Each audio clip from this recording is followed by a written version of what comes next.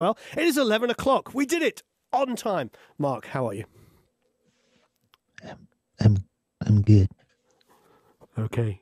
Are we going to be doing public radio announcements? Yes, we are. I, I, who's Alec Baldwin? and uh, Oh, I really love your Shreddy. No, anyway. So. it doesn't really work when it's two dudes. Well, I suppose it could, you know. so you're good? Yeah, great, great, great, great. You're hunk- hunkered down in the studio, I see. Yeah, I, I had to cover all the windows up. It's a bright morning today. That's good, yeah. Yeah, It's- yeah. It, it's fun being in Los Angeles in, uh, I suppose, early March. So typically, I suppose it's spring now, but it is funny that, you know, we had days in the last couple of months where you get out and it's like 75 degrees outside. And you're like, wait, what happened? Isn't this Yeah, I don't to be think we winter? got much winter this year. No, not a lot. Not a lot. Although Eric bought a electric heater. Wait there, did I buy electric heater? Okay, I bought an electric heater without realizing it, but apparently I bought an electric heater. And sometimes I walk in the studio and it's like, whoa, it's so hot in here. And I'm like, dude, uh, aren't you Latino? Aren't you supposed to be Warm blooded. warm blooded? I see. I'm trying to figure out why you would need a heater when you have an SSL. In You your don't. room. You don't. But Yeah, but there you was could actually fry an egg on that thing. Yeah, uh, actually, no. The SSL it runs pretty. The four thousand runs really, really smoothly. It's the it's the Neve and VR series. Oh, that- the V51 was the hottest console Oh. over the VR I've ever been in front of. The 51. Oh my goodness. absolutely crazy. So we have Yeah. a a lot of wonderful people here. Hello, everybody.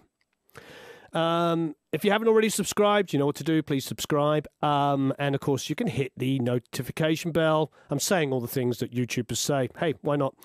Um, and uh, and please hit the like button because then it lets um, YouTube know that you like it, and more people will come and watch it. Um, James says England is is very bloody cold. I'm sure it is. I'm sure it is. Um, Tom says we're on time. What's what? What's with that? I don't know. You have to thank Eric. He he managed to get here early enough to get it set up. God bless Eric. Eric. So, um, feel free to ask questions in, of course, in the chat. That's what a live Q and A with Marc Daniel Nelson will be all about. Um, but Mark, I'm very excited. We're put, we're putting out a course with you today on, with Eric Burdon, who's a Yeah. rather rather wonderful uh, artiste, to say the least. I, gr- I grew up listening to. Um, my dad had a compilation album from the mid '60s, and it had um, it had. Um, Oh Lord, please don't let me be misunderstood. So I remember one of my earliest memories of, of anything that wasn't classical or jazz was hearing Eric Burdon's voice, which of course is rather special. So please check out um, Marc's course. You can see it above there. Um, so let's get started with some stuff. How, how what have you been? Uh, uh, obviously, with the, the the old pandemic, um, you haven't been doing much tracking, I imagine. Um, No. Has your mix load been getting pretty massive? Because I know you do a lot of film and TV stuff as well. Yeah. So actually, I'm fine with the no tracking thing just because, other than drums, like, and maybe a full orchestra, like, honestly, I, I, I gave up wanting to sit in a room at 2 a.m. recording guitar overdubs.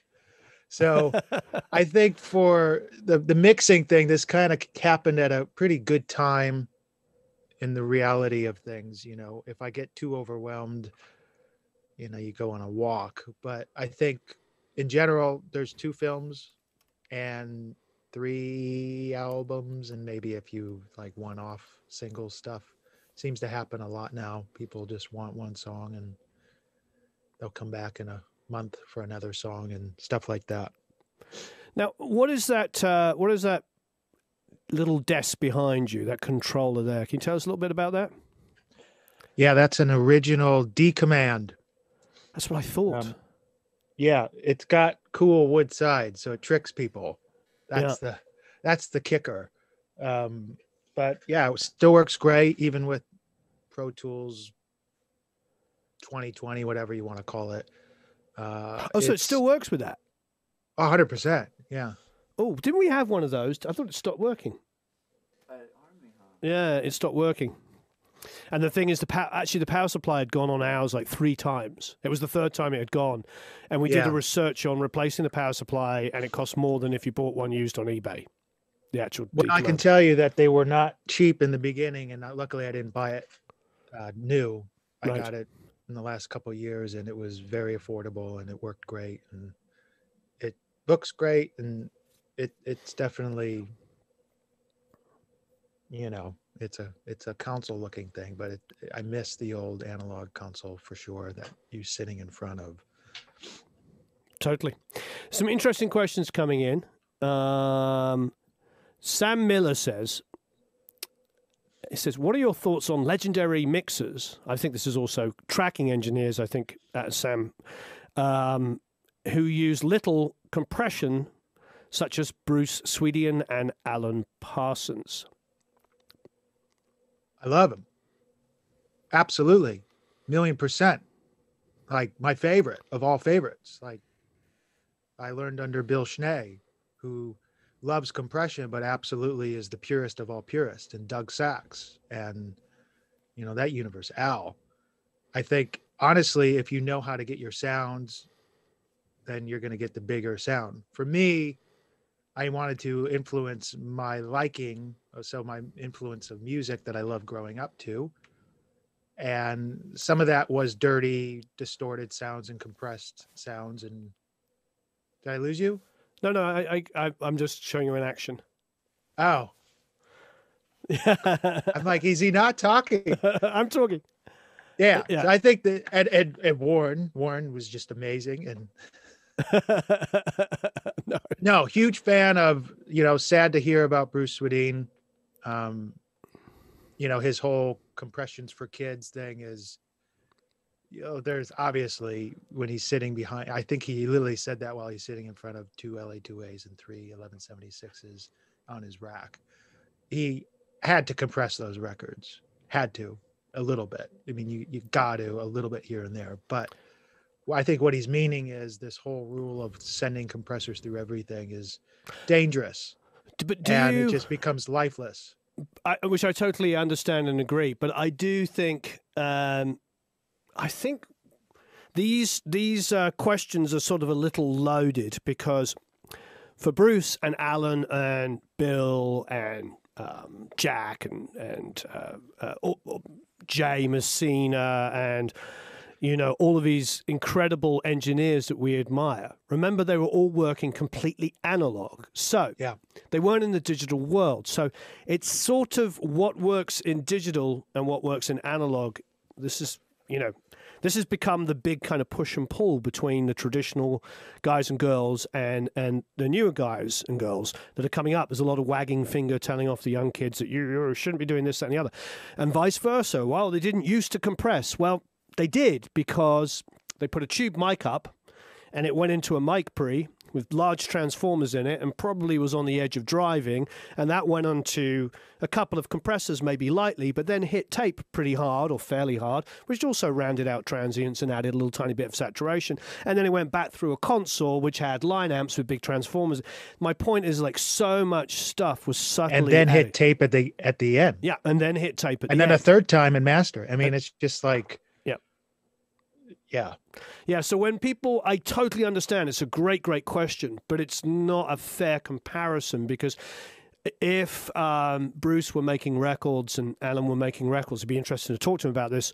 In a completely digital world, they would be adding all of, they'd be trying to find how to get that sound that they hear in their head. So they'd be adding things to it. And it might be compression, it might be emulations of tape and preamps and EQs and, you know, all kinds of stuff. Because we all know a digi- digital transient looks like this, you know, super spiky. And yet when you pull up, you know, the tapes, of some of these albums we're talking about, everything's so smooth and beautiful because it went through all of this gear on the way in. So I totally understand. It's a great question, but it's not really like with like because they were getting different results.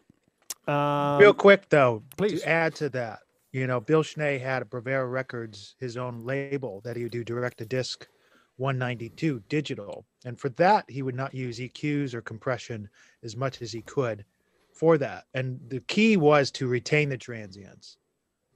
You know, a lot of these guys were ha- at that era were happy to go to digital because you were able to retain the transients. But being able to go backwards and taking it off for me and probably for Warren, we we like both worlds. We like the high fidelity Yep. kind of sound that makes it bigger than life, but then you need the compression for the energy, and you need that for the grime, and you need that for the power. Um, of course, when you're getting records at level volume now, you know you can't. It's not possible to not use compression now to get it at a commercial volume. Yep. I agree. Um, James is saying, "How's the acoustics with the windows?" So I'm writing, "There's curtains." Um, They're okay. yeah. Yeah. Uh, duh, Uh, there's a lot of good questions here. How do you how do you decide how to compress drums for flavor? Um, do you use them to get sort of more groovery or watery? These are lots of terminologies. More snappy and punchy, slow attack, fast release. I mean, how do you decide? I suppose you know, song by song, tempo by tempo. I think it's I'm I've said this a handful of times. I like to work on music in terms of what it reminds me of. So if I'm if I got a song that reminds me of let's say Counting Crows August and Everything After or Counting Crows Recovering the Satellite. Those are two separate totally separate sounding records by a band that has the same style. Now the drummer was different and the producer was different. You got T-Bone Burnett and versus what what was his name your friend that did recovering satellite Brad. Yep. So you Which got two totally technical yeah great. Totally totally different sounding records both amazing. Um, when i get a project i kind of put in my head and i do this with reverbs and other things too. I go what does it remind me of or what does it sound like i can influence a certain character? So i, I might hear the drum set of nirvana and go okay that is more clamped and it's going to have a specific type of reverb. So for drums I think about that. And sometimes there's no compressor on the two bus. And usually that's a breathing, more relaxed thing, a more fidelity thing, almost going back to the thriller drum set or something like that. And it needs a little more life. But then you get something that's tighter and punchier, you're going to need it. And I go through a couple different, I just, the Pulsar 1178, I don't want to plug too much, but that, that thing has been, I've been using that the last two weeks and it's absolutely. We have to do. We're, Awesome. we're going to do a review and a giveaway with it in the next week or two. I actually had planned to do it on release day. Um, they're very good friends of mine, the Pulsar guys. yeah, they're great. They're great guys. Yeah, two two French guys and an Italian. Sounds like uh, you know two French guys and an Italian walk into a bar. No, they're they're great guys. Uh, I, I I talk to them a lot, and they're really super smart. Um, and I was planning to do that, but unfortunately, because of uh, you know family commitments and stuff, you, you you know, Marc, I wasn't able to release it. But it's coming up soon for everybody. And you, do you have a preset in there? Just out of interest. He's wanting to do some, which I think is going to be on the next release because I had a couple things. So we were talking last week about it. But the biggest thing I love about that guy is it's got the kind of clipper in it. Yeah. So there's a a, uh, a a section for the distortion elements you want to add. So there's like a tape compression sound. There's clipping. There's triode. All these elements that you can do for drum bus. I just like to use the clipping at the end after I do my seasoning, like little salt and pepper. Yeah. I like to put the clipper there because it's absolutely helping me from the final limiter. So I used to just have a fat filter on my drum bus sometimes, and I would just have that cutting off one or two dB of the top top transient stuff.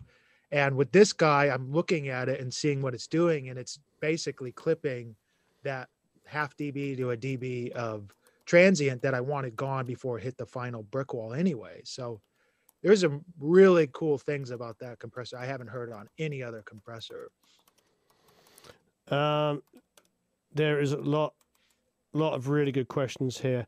Um, the one I did, I, I did like. Um, he, he's posting a couple times. Do you have any preference on vocal chain? And I think m- when you're recording, but more, I think what they really want to know is like, do you have like a go-to mic for a guy or a girl? Is that like, or do you find you have something that works in both scenarios? If you just like, Yeah, I think I I think with I love my favorite mic, and I said this in a video. My favorite mic for vocals is U47.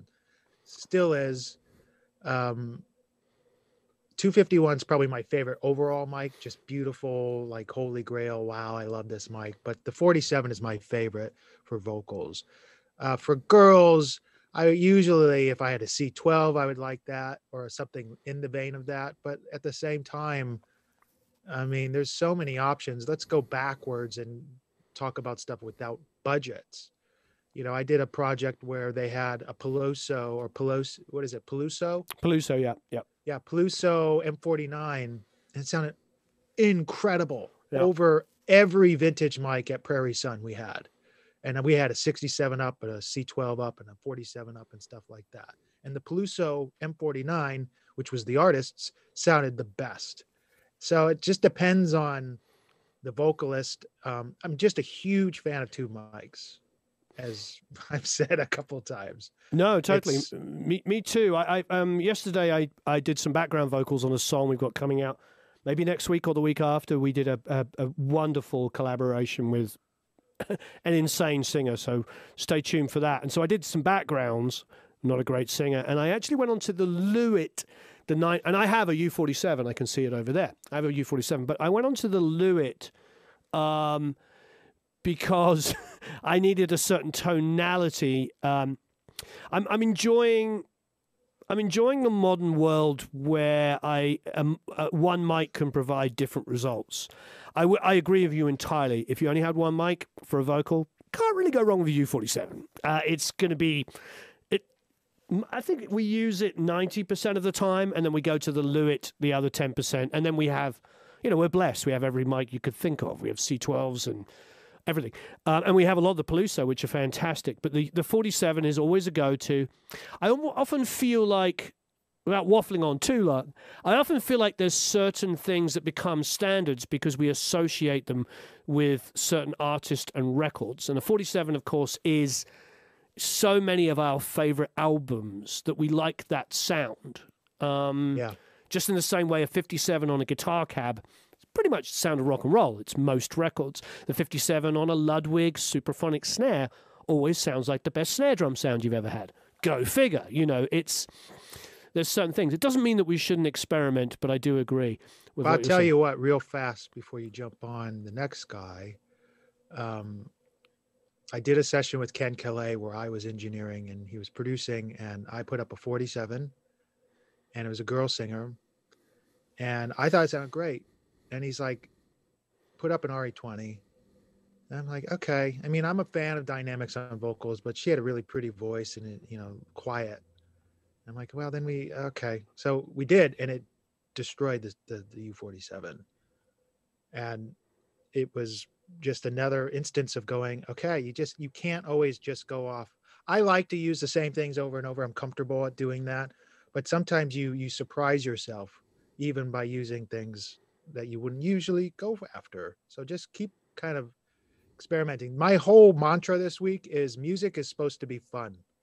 I've said this like 10 times this week and um because there's a lot of negativity for some reason going around and music is supposed to be fun experiment get crazy do stuff that you wouldn't usually do just have fun I agree entirely. So lots of great questions. Um, do, do, do, do. inglewood yes i did crazy enough Was what about Inglewood? Is that where you grew up? no he said did i really have a tattoo of a telefunken on the back of my arm You did? yeah i did when i was 19 or 20 20 yeah yeah like 20 years ago Um, Sam, another qu- good question from Sam says, whenever I use compression on acoustics, guitar, and ukulele, I find it degrades the sound quality. When on earth would you use compression on acoustic string instruments?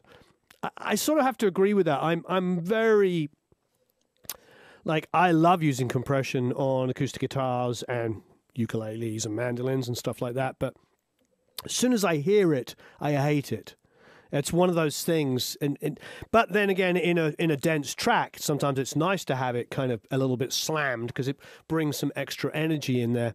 I think Sam, you know, on a vocal acoustic, I'd probably, or limited amount of mu- instruments, I'd probably be probably be looking at volume rides first before I'd look at compression, and then some of the artifacts I always hear is when it's a very, very dynamic signal hitting a compressor in a kind of arbitrary way. So if I go in there and draw in and, you know, gain, match it, whatever you want to call it, volume ride it, um, you know, and get it so it evenly hits the compressor, then I can control what I'm hearing a little bit more. But yeah, that's a tough one. I mean, compression on acoustics is just song dependent, isn't it?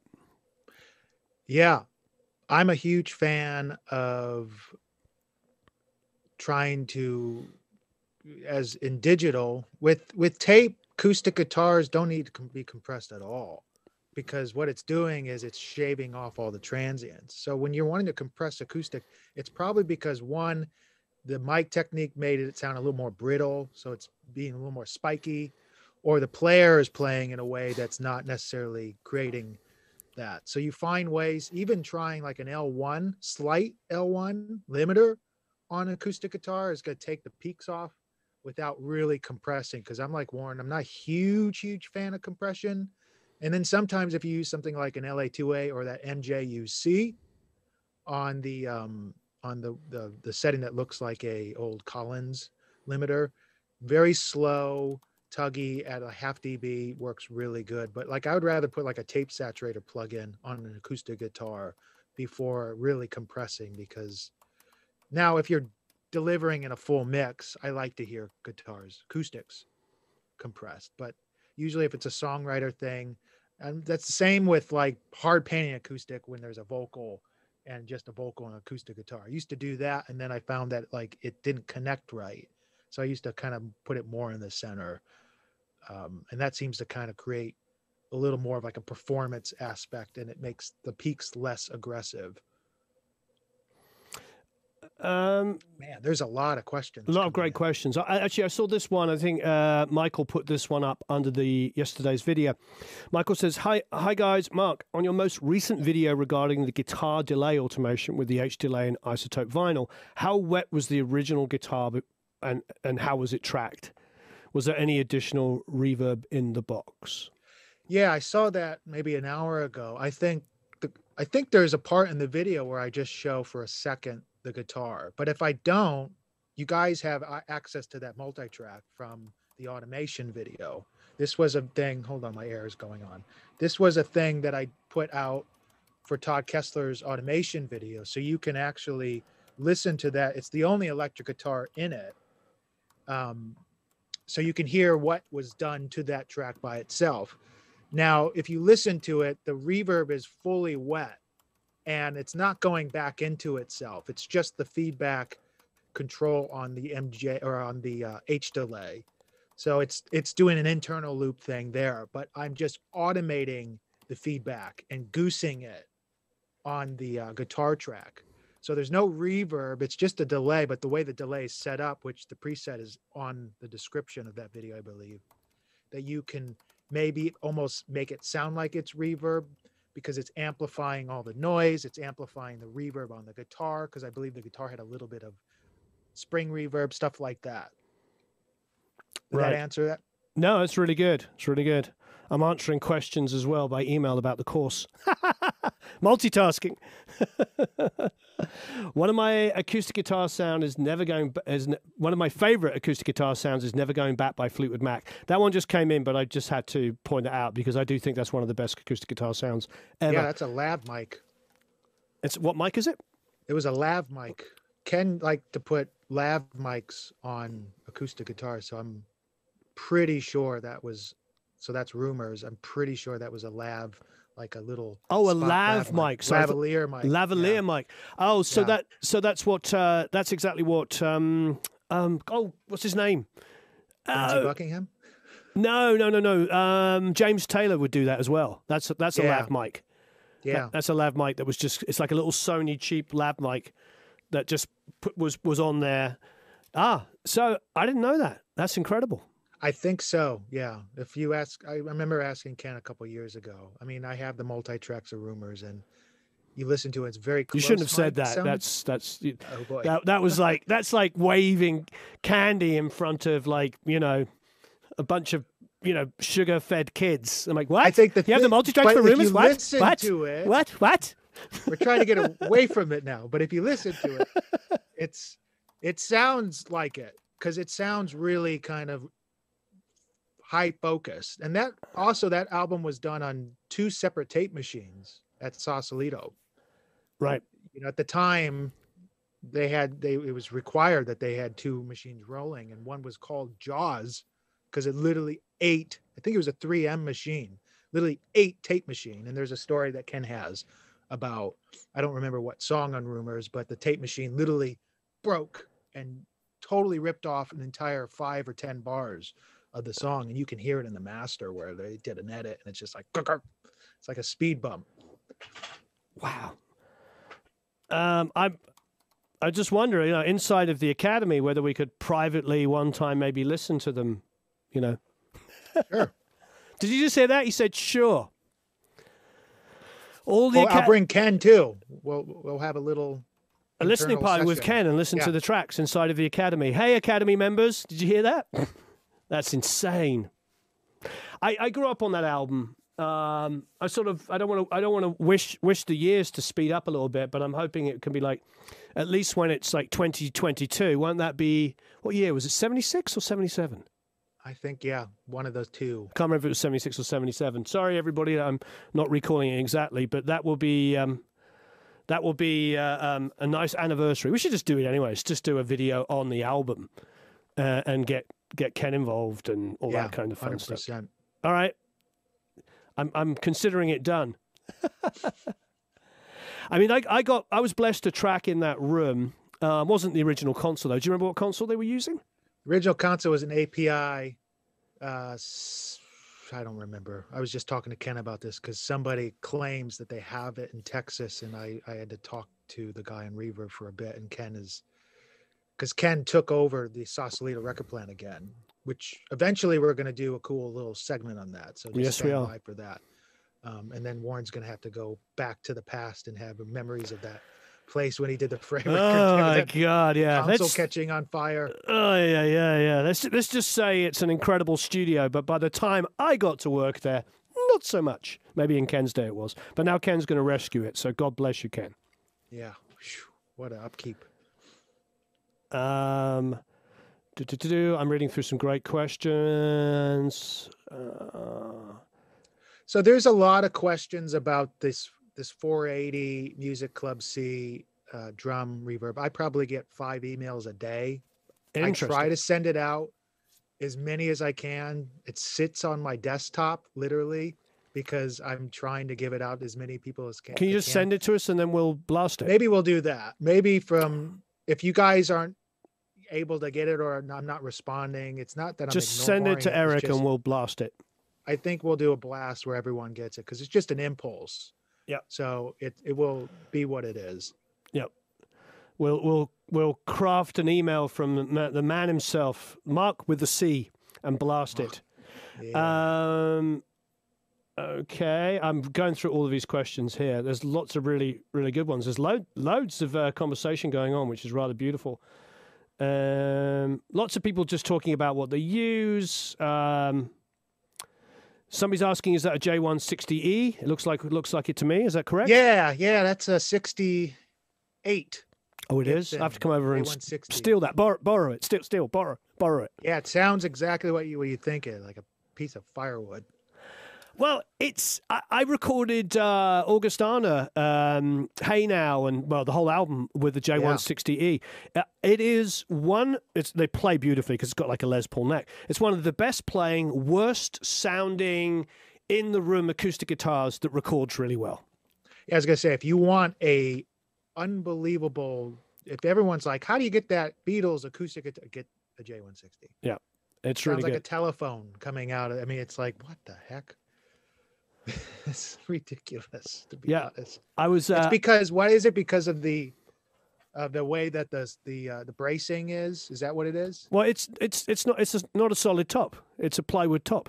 So it's like Okay. a, it's like I wouldn't say it's a cheap guitar. Don't get me wrong, but by Gibson standards, it's like a cheaper guitar. Um, and so it tends to be a little dead sounding, but that is beautiful when you put a mic in front of it because it doesn't boom.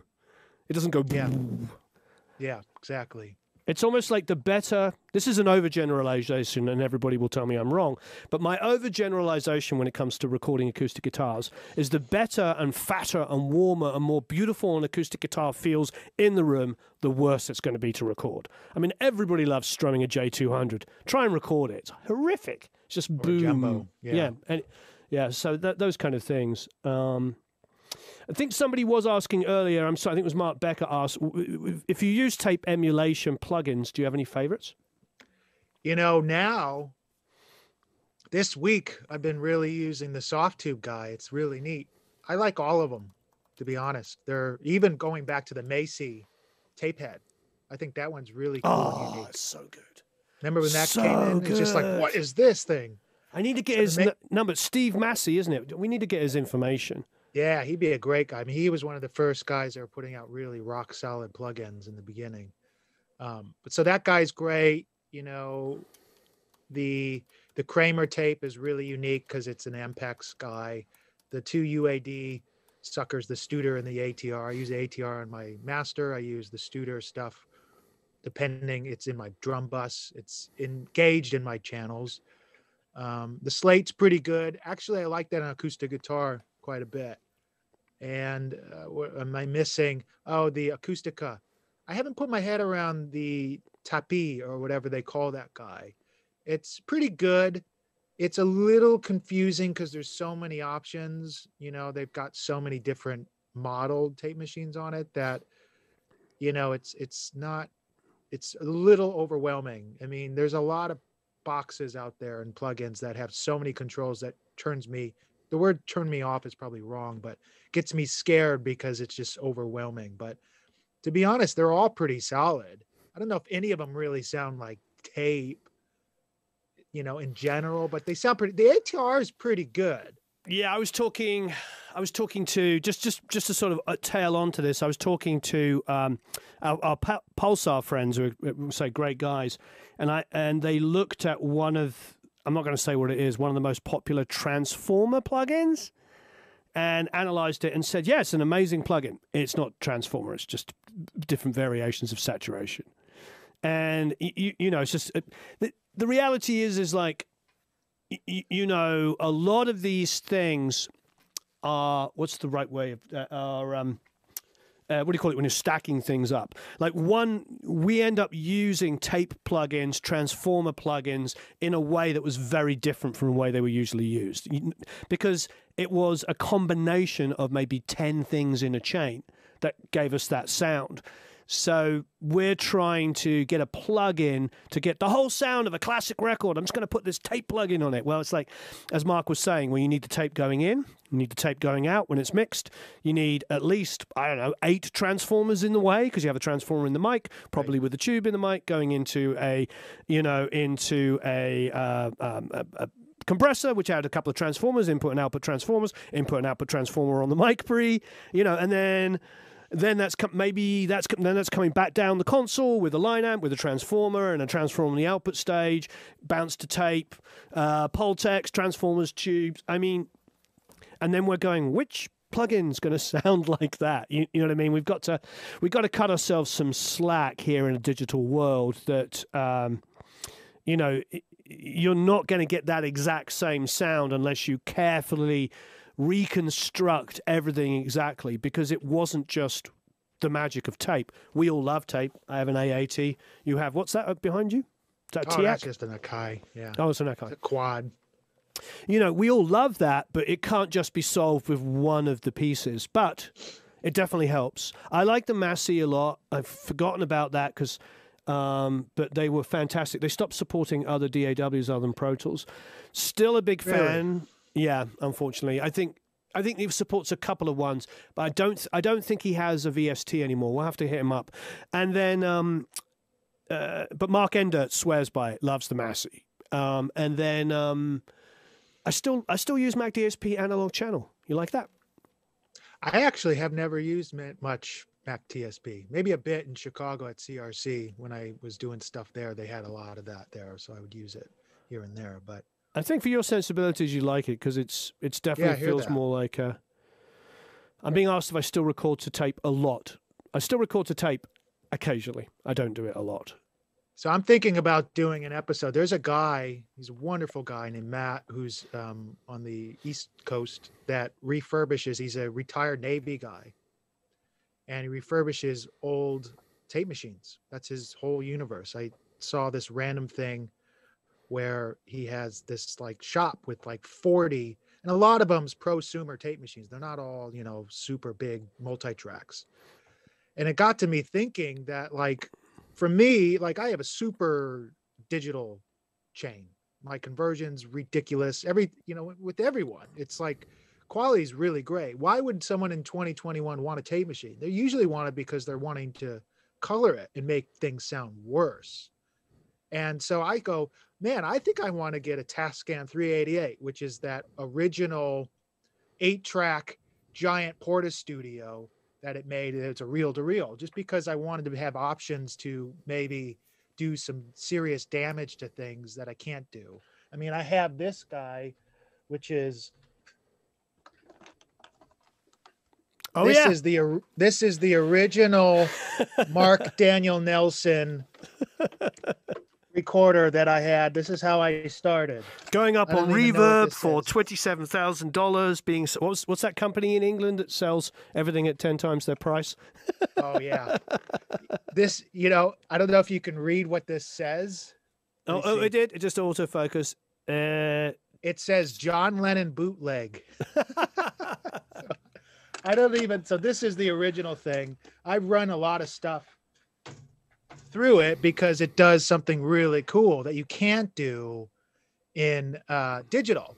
So I'm thinking, you know, be really neat is to have like a real cool setup, like a 388 or something, to be able to do just transfer stuff in it, mangle it up. Because honestly, if you want tape, you were going to want it to make it sound a little less pretty. You know, you don't want it because you're looking for fidelity. I had an ATR in my room for two years and I never turned it on because it was so good and tran like everything was so good sounding that it was very far it wasn't far enough off from digital print. And um that's my thing. If you're going to use tape you might as well go crazy. I mean i had an mci two inch for years and i on purpose always kept it at 15 ips and i didn't like noise reduction or anything like that because i wanted the effect of tape. If you're going to go for the effect go for the tape Um, so Levi has asked this question a couple of times. Sorry for uh, we didn't get to it earlier. Um, I'm going to use the bathroom and throw Marc under the bus on this one. okay Uh, what kind of reverb do you like to use on rap vocals, Marc? Longer decay time, shorter deca- decay time. I found I like a short decay plate or room reverb. What do you think? Yeah. So hip hop is ever changing trends.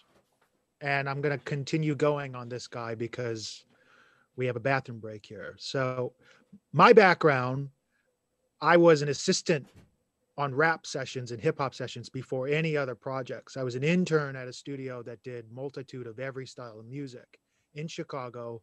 That studio was called the Chicago Recording Company.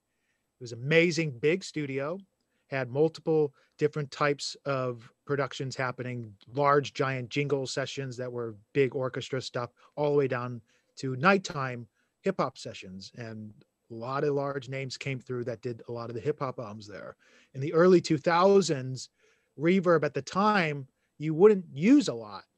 You would just not do, a, there would be delay and stuff. And that goes into the mid 2000s where people started using a little more reverb on hip hop and uh, rap. For me, if you're talking hip hop, like original great kind of hip hop, there's kind of lo-fi hip hop. You would use kind of plate reverbs and kind of dirtier reverbs because it's like underground hip hop stuff like that. If you're doing kind of traditional, normal, modern hip hop and rap, if you're using a long reverb, it's only for an effect for a shoot. And you're right, like something smaller, like the EMT 250 by Universal Audio is a fantastic reverb when you start bringing it down almost to the non-linear setting where it's almost like a room setting. That will give it a just enough for even the d-verb in Pro Tools is pretty ridiculous when you click into the non-lin because it's just this really really short uh grainy kind of reverb and when you need the big long extension it will shoot off and become this really great unique depth that you're creating by creating this large reverb i would end up using a little bit larger reverb on certain projects because if you are kind of creating emotion. Sometimes the bass is so thick you want to add a little bigger reverb because when you're going for low end and rap and hip hop, you want the bass and the drums to be the biggest part. So if you have a medium or smaller reverb on the vocal, it actually loses the punch of the drums and the bass.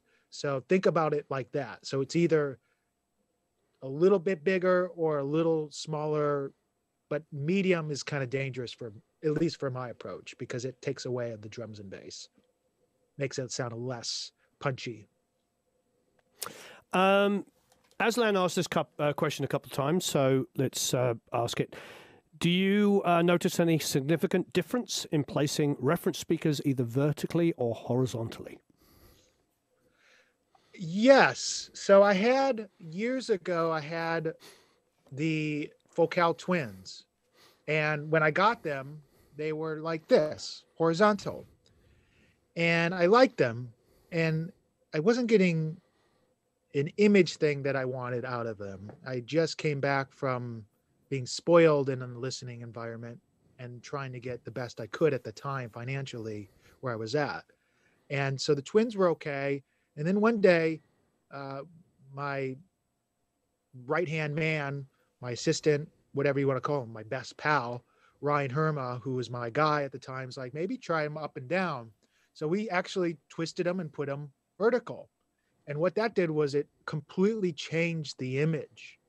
What I also did was at the time on my meter bridge and my console, we had the the speakers and this the one uh, TV monitor to to look at Pro Tools, and I didn't like the way that the the the monitor was coming in the same atmosphere, the same playing field as the tweeters of the speakers. So we moved the, the monitor just back four inches and it actually helped the center of the image.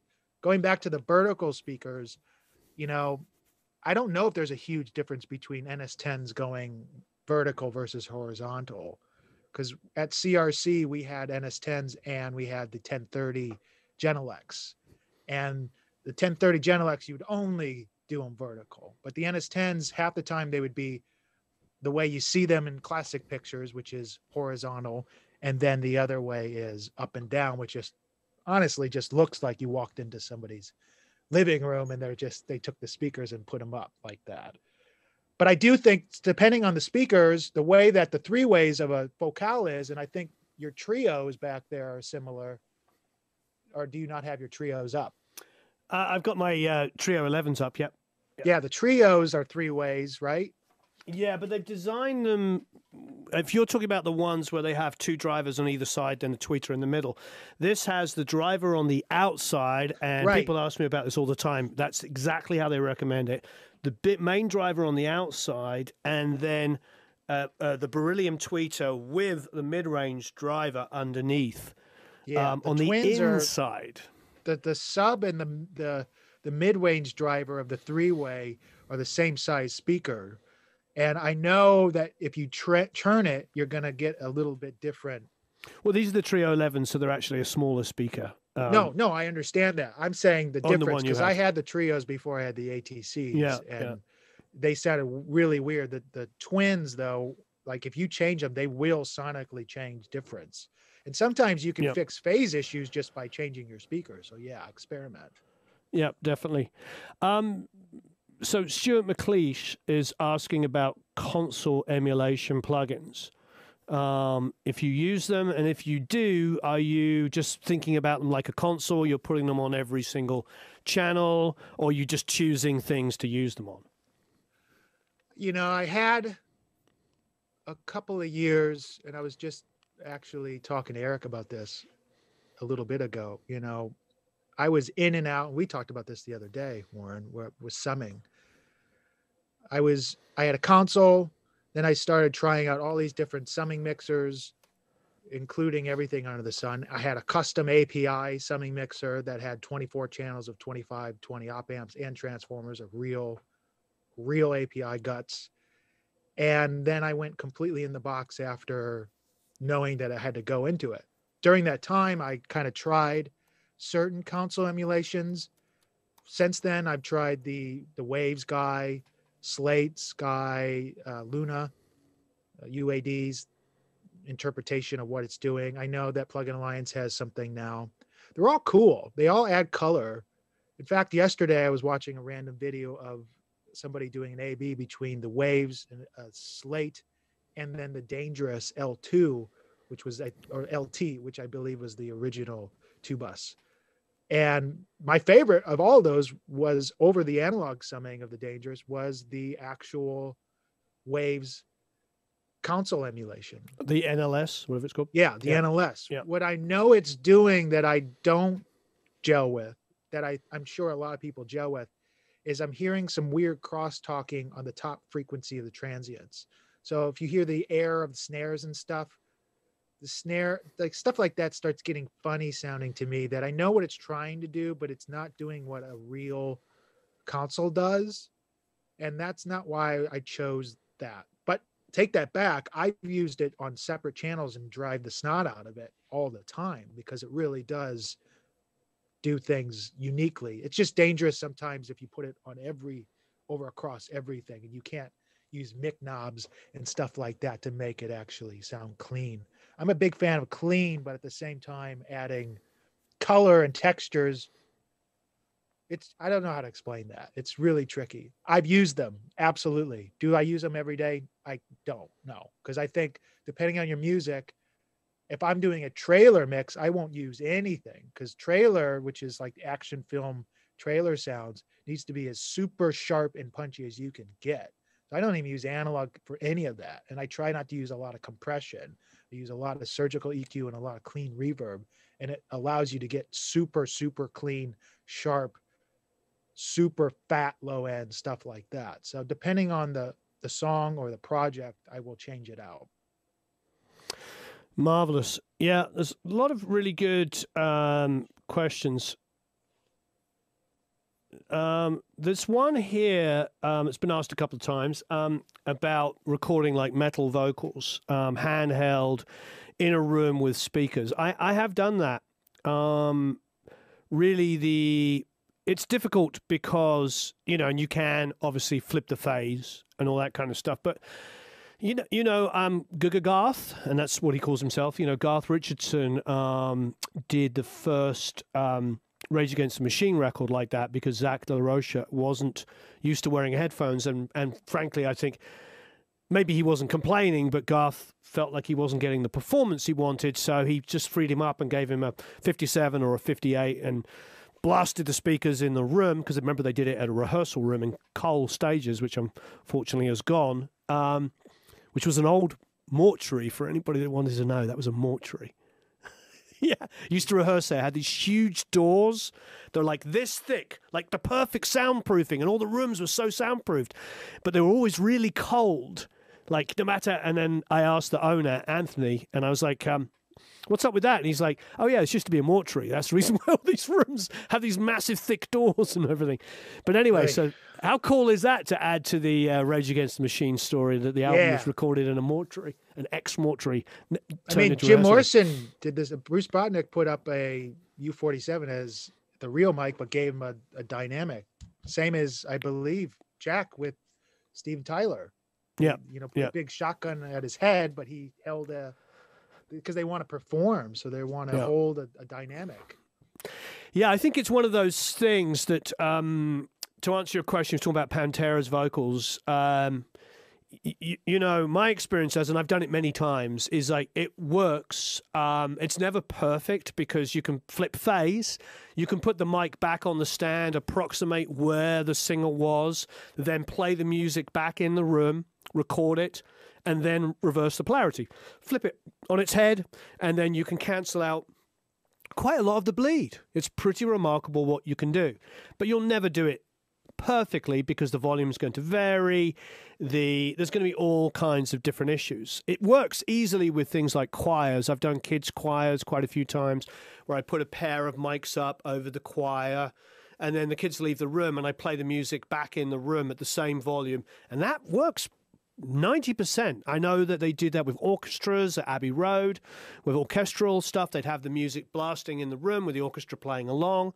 And most of the mics, of course, are only facing the, the instruments. So you'd be surprised how minimal amount of bleed there is in there. But then the orchestra would leave and they'd play it back in the room, record again, flip the polarity, cancels out. A good 75% of the bleed. It's pretty miraculous.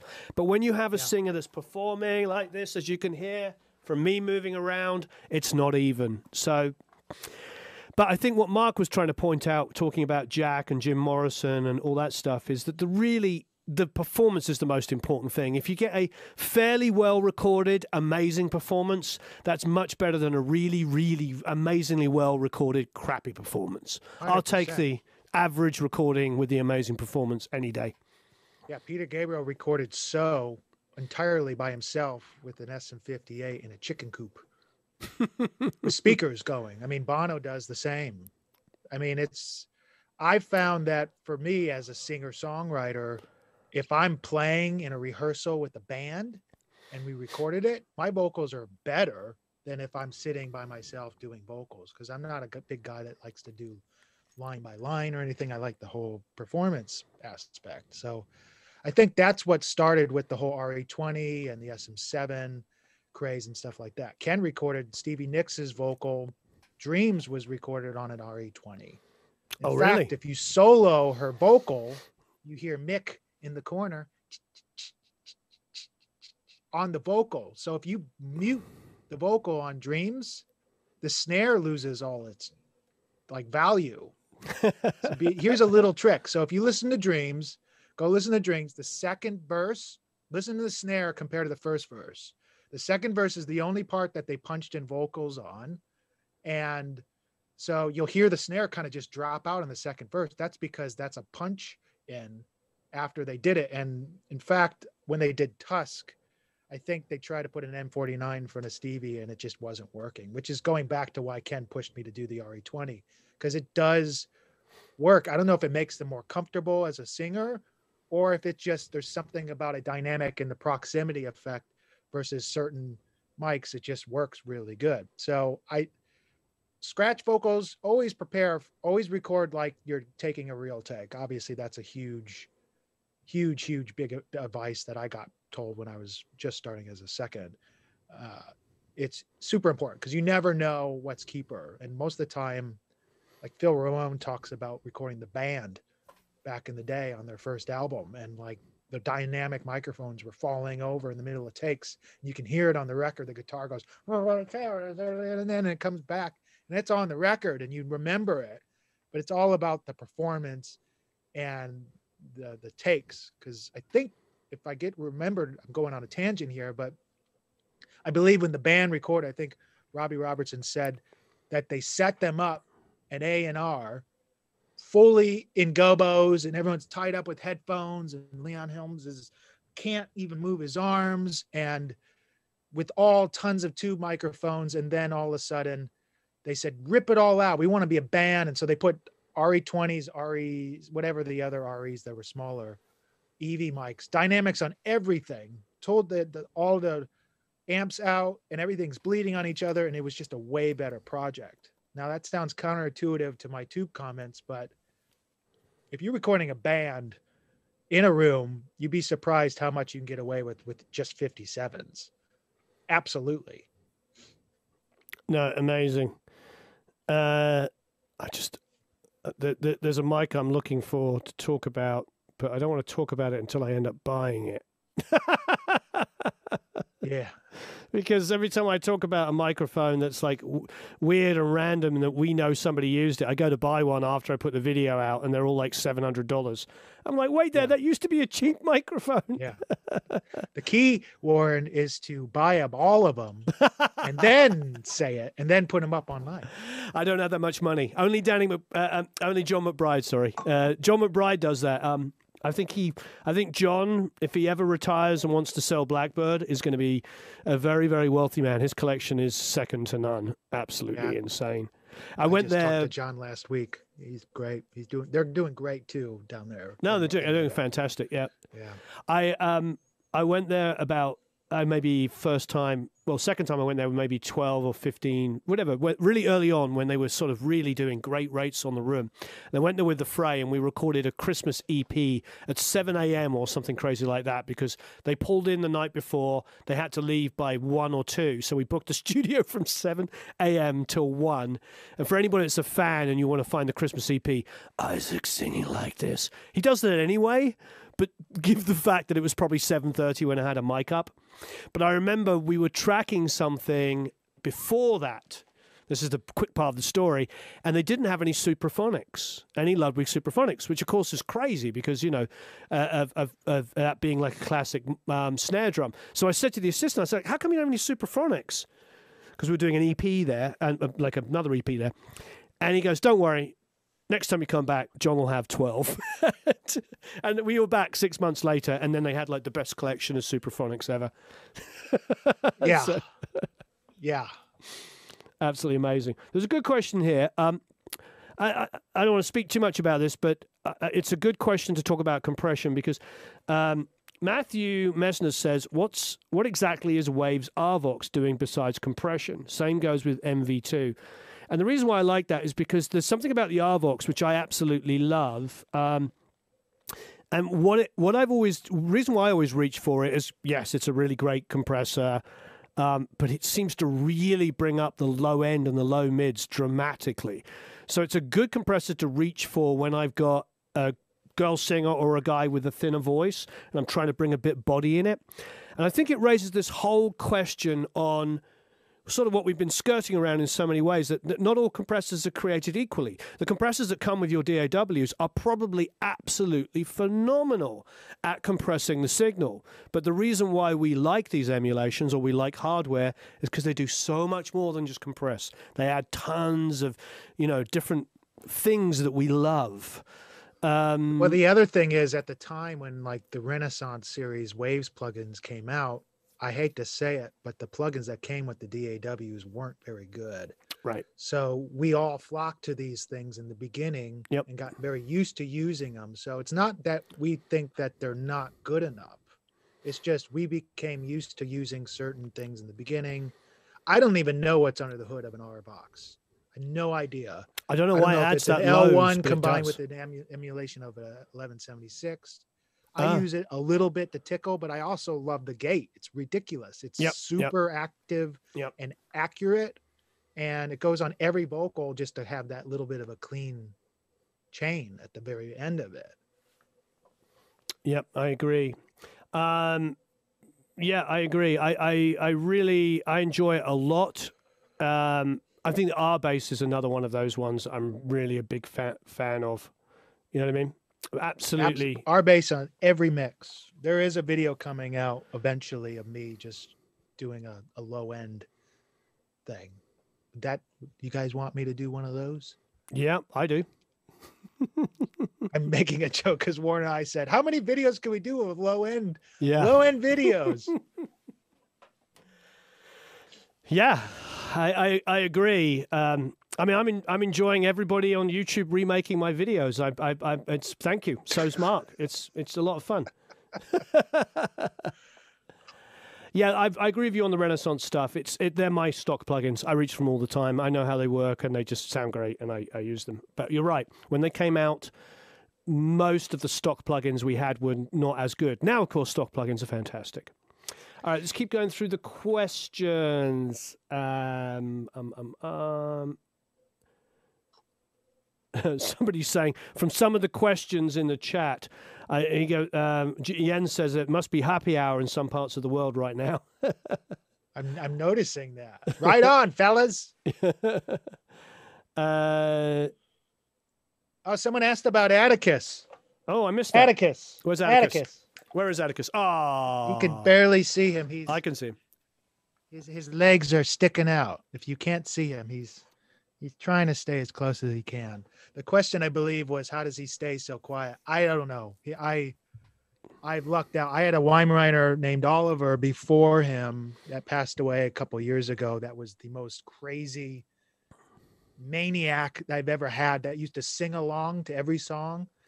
And he just he's great. He just he just becomes Atticus just sleeps all the time and he's my little story buddy. So we we have long conversations about music and compressors and everything. That's Wow, amazing. There's just loads of stuff coming in. Yep. Uh, What is a Mixbus 32C?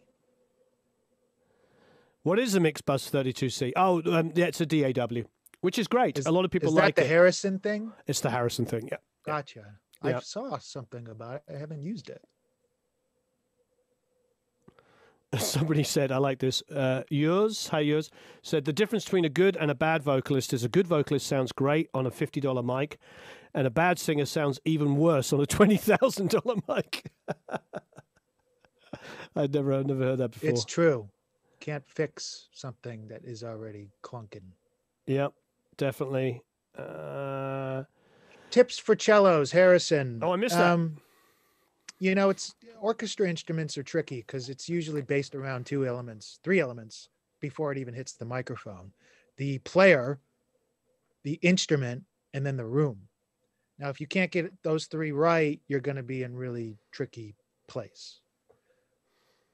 For me, I use that word a lot, but for me, I like a U47, a Fat 47, something that has a good mid range on a cello. I don't like to stay too far away. I like to get a lot of the low end so I can get a little bit of the Eleanor Rigby kind of sound where you're getting some of the bite out of it. Even for large scale film stuff, I've been kind of pushed by other engineers that, oh, you can't do that. And it's like, yes, you can. Absolutely. You can totally mic an instrument close. Um, but I would say anything that has a large diaphragm, something a little less expensive, Audio Technica 4050s, very good mic, $400 mic, sounds great on cello.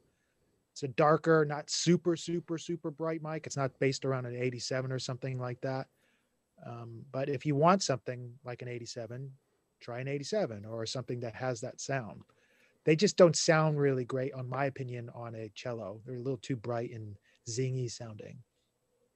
So John's asking monitor preference. Now, obviously, we we know use ATCs, which are you know they're right up there. PMCs, ATCs, Genelecs. I mean, the, the, all of those companies make incredible monitors. Focal, in the top of the end range of those companies is unbelievable. But forgetting the monitor manufacturer for a second. Um, John Power is asking, do you prefer three-way uh, three-way monitors versus two-way and a sub? Which do you, what do you what do you think? Do you, would you like the combinations? Do you have a do you have a preference? Real quick, Andre, yes, 414 on cello works. Absolutely. That was the cello mic that I learned from Dennis Tousana and Gus at Chicago Recording Company back in the day. So 100%, 100%, 414. Uh, preference on speakers, three ways, two ways, subwoofers, all the good stuff. I I like power. I'm a huge fan of not hearing the speaker compress and distort. I like sub information. I'm still always fighting if I'm getting enough low end because I always tend to lean into it. And I like mid range. I don't like fatigue brightness. I've had a problem over the last 20 years that I mix way too loud to the point now where I'm really trying to force myself to come back and tone down. It's just really hard for me to mix and hear low end at a quiet volume. The Trinnov saved my life for many years on a room that I had to have accurate listening environment that I didn't like the subs until I got the Trinnov, and that made me really like it. And just to pause would you for a second, we're going to do a video with Trinnov here and try it out in the room. So back to you. Great. Yeah, it's going to be a neat little Shazam experiment. I would say, you know, there's plenty of speakers out there that are really good. The the original event 2020s, not bad if you keep them quiet. Not bad at all. The Precision 8s by event, not bad if you keep them quiet. A lot of these speakers, the manufacturers can't put large amplifiers in there or the components aren't made to be able to handle a lot of sound, a lot of pressure. If you're going to go back before then, back to the traditional sense, like a JBL or a larger UREI, those things can handle a lot more pressure and they feel like you're getting a lot more, but all you're doing is just not being able to clip them.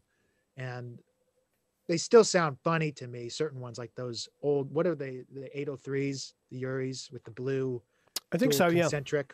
Yep. Those were funny, but I'm a fan of the dual concentric in the Tannoys, like the Gold Tens, the Mastering Lab tra- uh, crossovers in those. You know, Ed Cherney, Al Schmitt, Bill Schnee, George Massenburg. All these guys loved this Tannoy box, Tannoy, whatever way you want to talk about, it, because of the way um, it it represented your mix. You can almost hear the speaker in the mixes. Ethan Johns, I believe, used them, and you Are can you talking about the little golds? Yeah, the little they're like little Yep. Tannoy tens Yep. with the Mastering Lab crossover. Yeah. and Yeah, Dave Jordan had, I don't know if he still has them anymore, but I think he had four pairs, identical pairs, all with the Mastering Lab crossovers on them. yeah, Bill had six or seven pairs. I'm sure Al has them too. It's just does one thing really well, and you know they're old speakers. And I bet if these guys didn't have them, it wouldn't matter. Isn't Ivana doing the. I think she was doing reproducing the, crossover. for a Yeah. while. I don't know if they're still doing it or not. Well, I think you have to. I think you, customer, Special order. Yeah, well, you the customer has to find the has to find a pair of the speakers because she doesn't have them. So what you do is you ship them, um, you know, a pair that you buy used, and then she does the mods for you. Got it. Yeah, I don't believe that the drivers are being made anymore, even No. though they said they are. No, Uh, I talked to why- somebody at Tannoy a few days ago, and unfortunately, the Scottish uh, Scottish uh, factory is gone.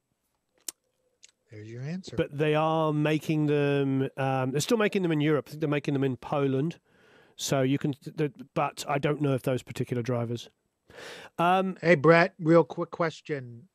Brett Wheeler, I had to get a really super computer.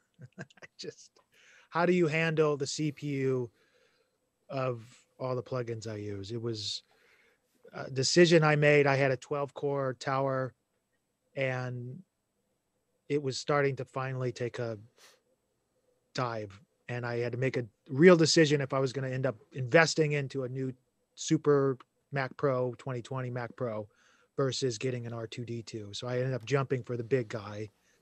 And it's but you know, with the new M1 processors coming out, you're going to probably be able to hang just as well, which makes me go should have waited. We'll So- see.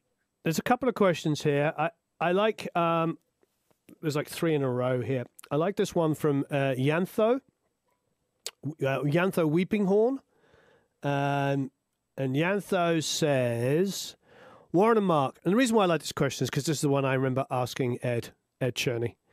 Uh, Warren and Marc, obviously Marc. If the building caught fire, what is the one piece of gear you would save? Probably my computer. Oh. only because of the time it's taken for me to get everything. I have it all backed up, but I'm looking around going, I can't grab any of my outboard gear, regardless of how much it's worth. I certainly couldn't grab both of my ATC speakers. I couldn't grab my Shadow Hills compressor. I couldn't grab my Tegeler stuff down here. I would be able to grab that guitar because I'm running out the door. So I would probably just rip out as much as I could and grab my computer just because it has everything and it would allow me to go right away and work continuously. Because if I didn't have that, I couldn't work right away. It's a weird thing to say, but No, it's a good answer.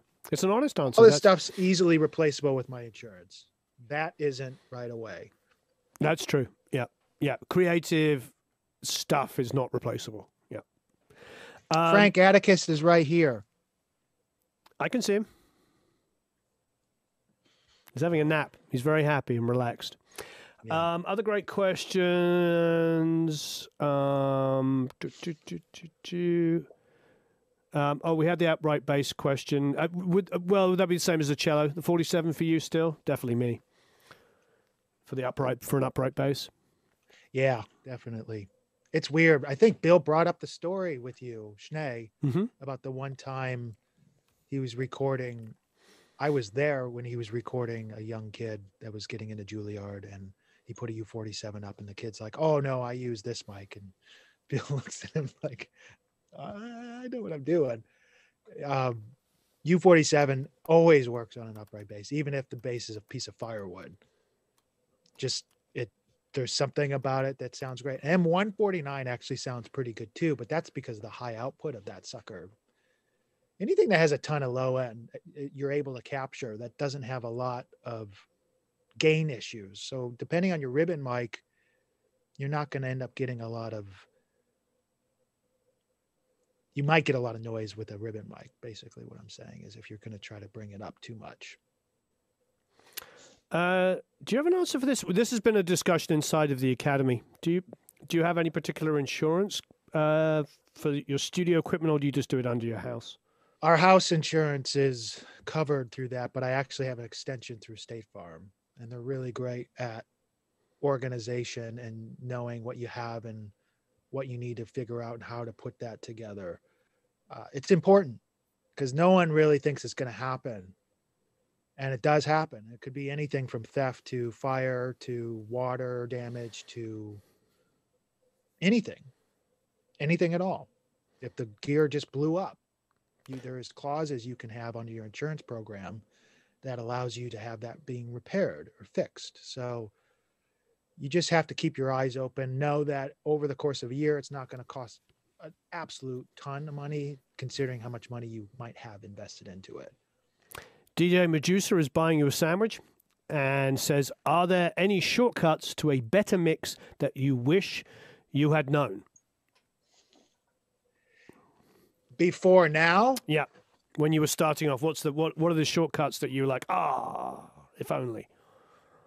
I think buses, stereo buses, were a, were a big awakening moment for me because I grew up on a console, and I was you know trained to not group things in a way. When I was starting and I was using a console on my studio, I had other engineers come in and they would always have buses set up for their instruments, and I never. Oh, that's not good. That's not right. Because you're so used to using single channels and the way you'd sum out and you'd use EQs and then you'd group things for parallel or something. The second I started creating buses for my groups, not only allowed me in my template to create stems in real time, it just made things easier where I only had to program and process things as a whole. Literally, for a drum set, I don't do a ton of EQ anymore on a full drum set. I just add a Pultec and depending on the compressor or distortion box, it can get me really close, way faster than having five or six plugins. So I'd say stereo bus grouping. On top of it, if you have a track or a session that has 400 tracks, it takes forever to get around it. So being able to group things in elements, color coding correctly each group consistently where your mind knows exactly what the the group is based on the color and then using your stereo buses before it dumps down into the master has saved a lot of time and made things a lot more fun. Here is here's an interesting question uh, question that everybody asks. I don't know if you've answered this under one of the other videos, but Ma- Marcio uh, Mosquita is saying, Marc, do you actually use those in ears for mixing? Absolutely. These suckers, Sig- Simgot. Let me see if I can hold it to the. Let me try this again.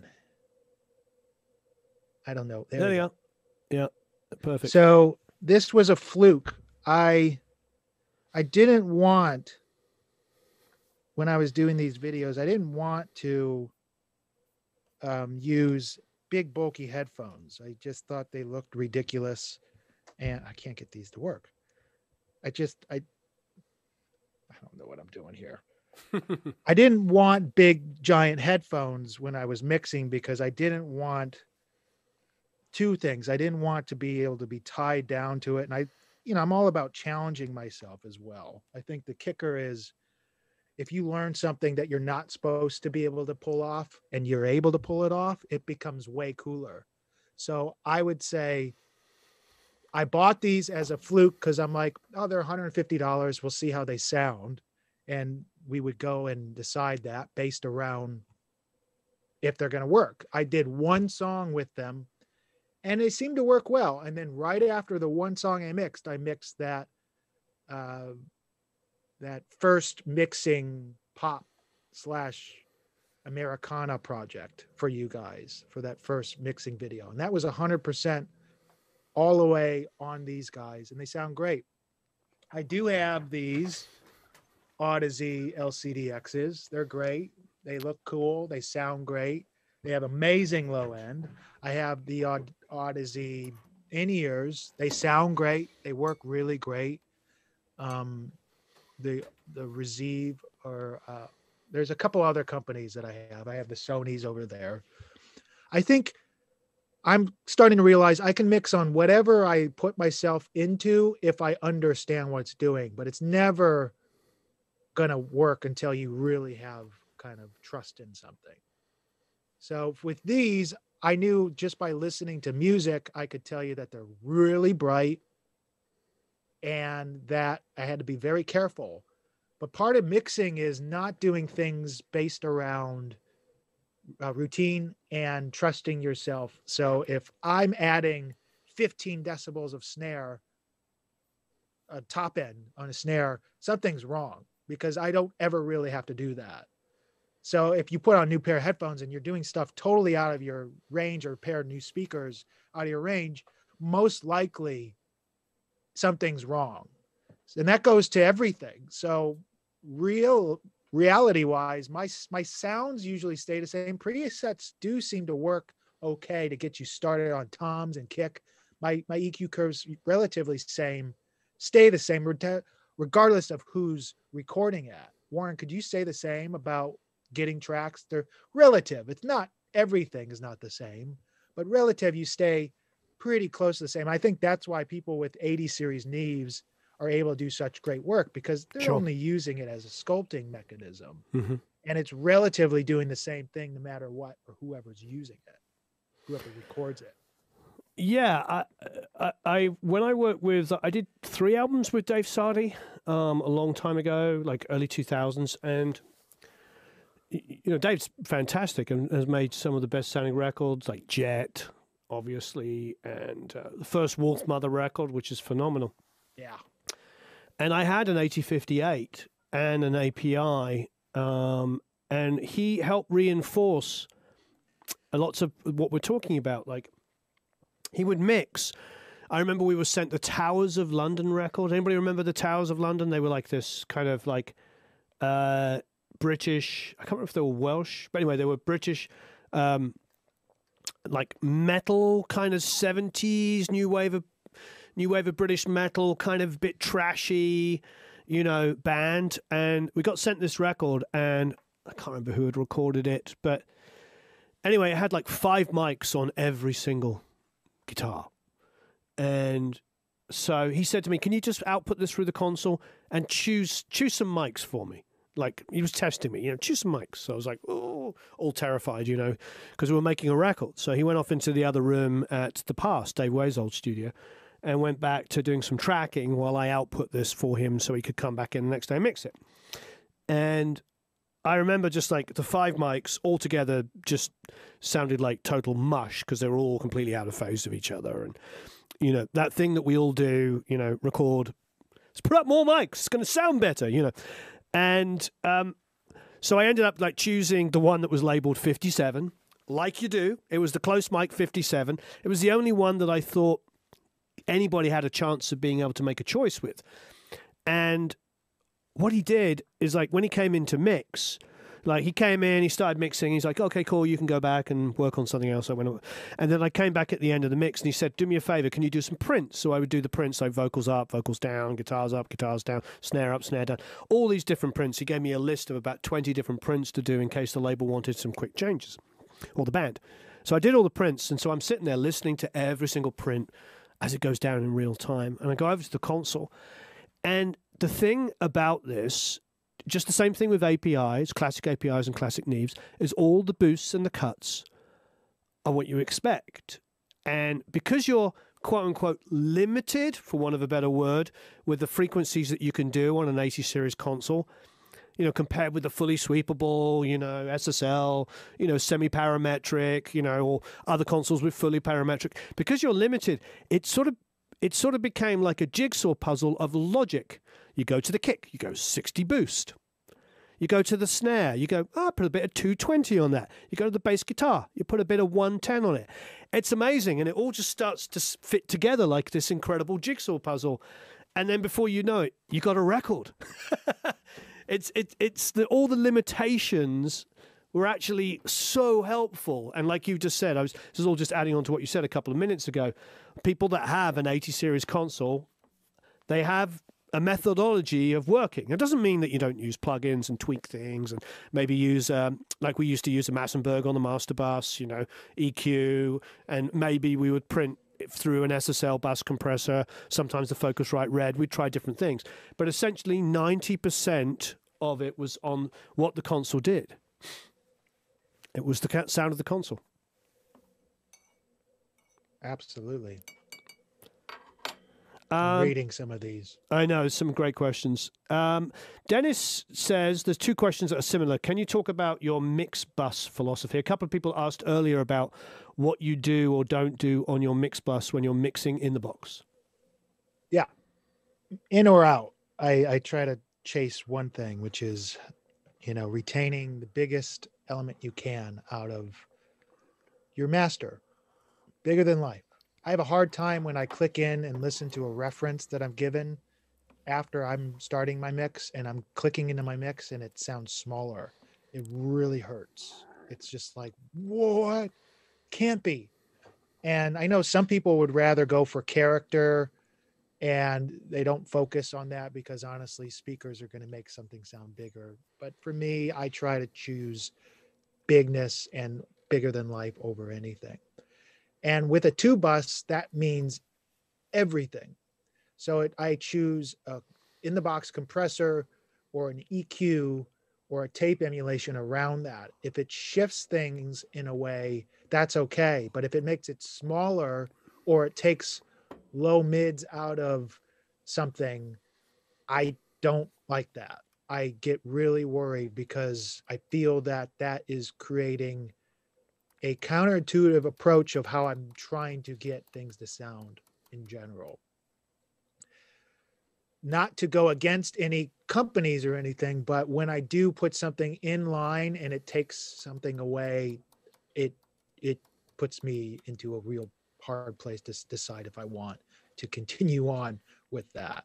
That could be a bass guitar, that could be the the drum mix, that could be the full mix if I put a tape saturation plugin in and it takes low end out, like let's say 30 hertz, just a little bit. I don't want to have to add that back with an EQ. Now, some things you have to, like analog, you you kind of have to know that, but it's just a little different character to deal with that. Um, I'm sorry, I'm reading some of these other questions. There's just they're just folding down, like falling down the stairs. I would just use something in a very tasteful way. I like two or three different types of multi-band compression on a two bus. Sometimes it's literally the FabFilter multi-band compressor where you can really figure out what you want to take out of it. Sometimes it's the Acustica titanium, which is, I'm assuming, the TubeTech uh, SMC2B, which I have the hardware of. And I like the glue Cytomic glue, which is the SSL style. And I like SSL's bus compressor. They're all fantastic. Uh, I do like the ones with mix knobs because what I can do is create the glue and then get the like definition of the size back with the mix knob and kind of fool around with that. But I my approach is I do add uh, API 550 or 5500 EQ on a two bus because it's becoming a new thing with me where I like the curve. I like the 50 hertz and the 10K. And whatever happens with the 2012 2520 op amp, whatever that's doing to a two bus really seems to make it sound like a record. So I do use that almost on everything. I used to do the Pultec thing. I know Warren does that. He likes the Pultecs. Um, I think it's just you go for what you can do. I'm not a huge uh, multi multi guy like Brauer who uses five different compressors. That's tricky for me. My mind can't like approach that. It gets really mucky, but that doesn't mean it doesn't work for some people. Absolutely, probably works. Definitely works for Michael. So I think for me, it's more simpler is better. And then I use a limiter for makeup. And I use it even if I know it's going to mastering, like Eric Boulanger at the bakery or something, it will just go to him with the limiter and then one without. So he can hear at least what I'm doing and what I like to hear. Because I like to shave off the snare and stuff before it goes to them, anyways. So I might just bring out the volume just a little bit so they can do their twinking afterwards. Fantastic. Uh, lots of questions, versions of the question of sort of how do you know when the mix is finished? What's your sort of process? Do you have a, a checking process? Do you listen in the car? Do you have it on? Do you take an hour break, come back and listen to it? Do you wait till the next day? What What is your sort of process of signing off on the mix for yourself? When I was kind of getting started, it was, you know, you had time to kind of like a mix and then wait until the next project came in, or you could really do 40 different versions of it to make sure you're happy. After the experience and after the 10,000 hours it took you to get to a place you feel comfortable, I just got to a place where now I'm working on three or four projects a day. That doesn't mean I'm finishing three or four projects a day. It just means I'm working on three or four separate songs or cue for a film a day. My template set up where everything is falling in line. All I have to really touch for recall is my tube tech and all that is is just touching the threshold everything else everything else stays the same so for me when i know it's done is when it just sounds right and i literally will mix a song for two hours and go on to the next song of a completely different album and then come back the next day on the same song. And I will catch stuff that I didn't do. But a lot of times I don't like printing in one day. I don't like mixing a song. It happens all the time, or I have to because of time constraints or whatever. But if I had my choice, I would mix it all the way to the place where I'm like, this sounds good. And then I'd leave it and I'd come back in a day or two while I'm working on something else. And by doing that, I put it up and it could be ready to print the second I put it up and I'll go up, the vocal's a little too loud, or up, the snare's too loud. You can't always be satisfied because that's the never ending devil's triangle that we as engineer mixers get lost in. When to stop, when it's enough. Because how many times have you guys mixed something, hated it, absolutely despised it, embarrassed what you did? People think it's great, but you think it's terrible and you're just shamed and then like four months later, you come back and you hear it again. You're like, this sounds freaking great. What did I do? How come I can't get it to sound like that now? It's because everything is evolving. Your opinion's always changing. Tomorrow you could use a different compressor that you would have used today. It's just knowing that it's all about the the experience and the the moment of decision making. It's why I've flocked more to uh, producing and mixing versus engineering, producing and mixing full albums. I still do, but the, the project has to be something I really want to be a part of, is because I like coming in super fresh and then leaving. It's because it's as a creative, you still are using your mind as a mixer, similar to you would if you were writing a song or something like that. So you have to come in fresh and know what's going on and just trust that your instinct that day is going to do what it does. Marvelous.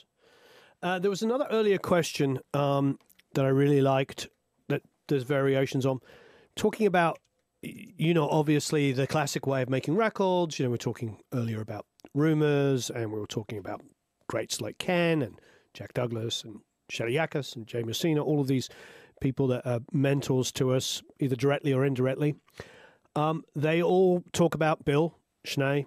Um, they all talk about recording the way that they want to hear it, committing the sound.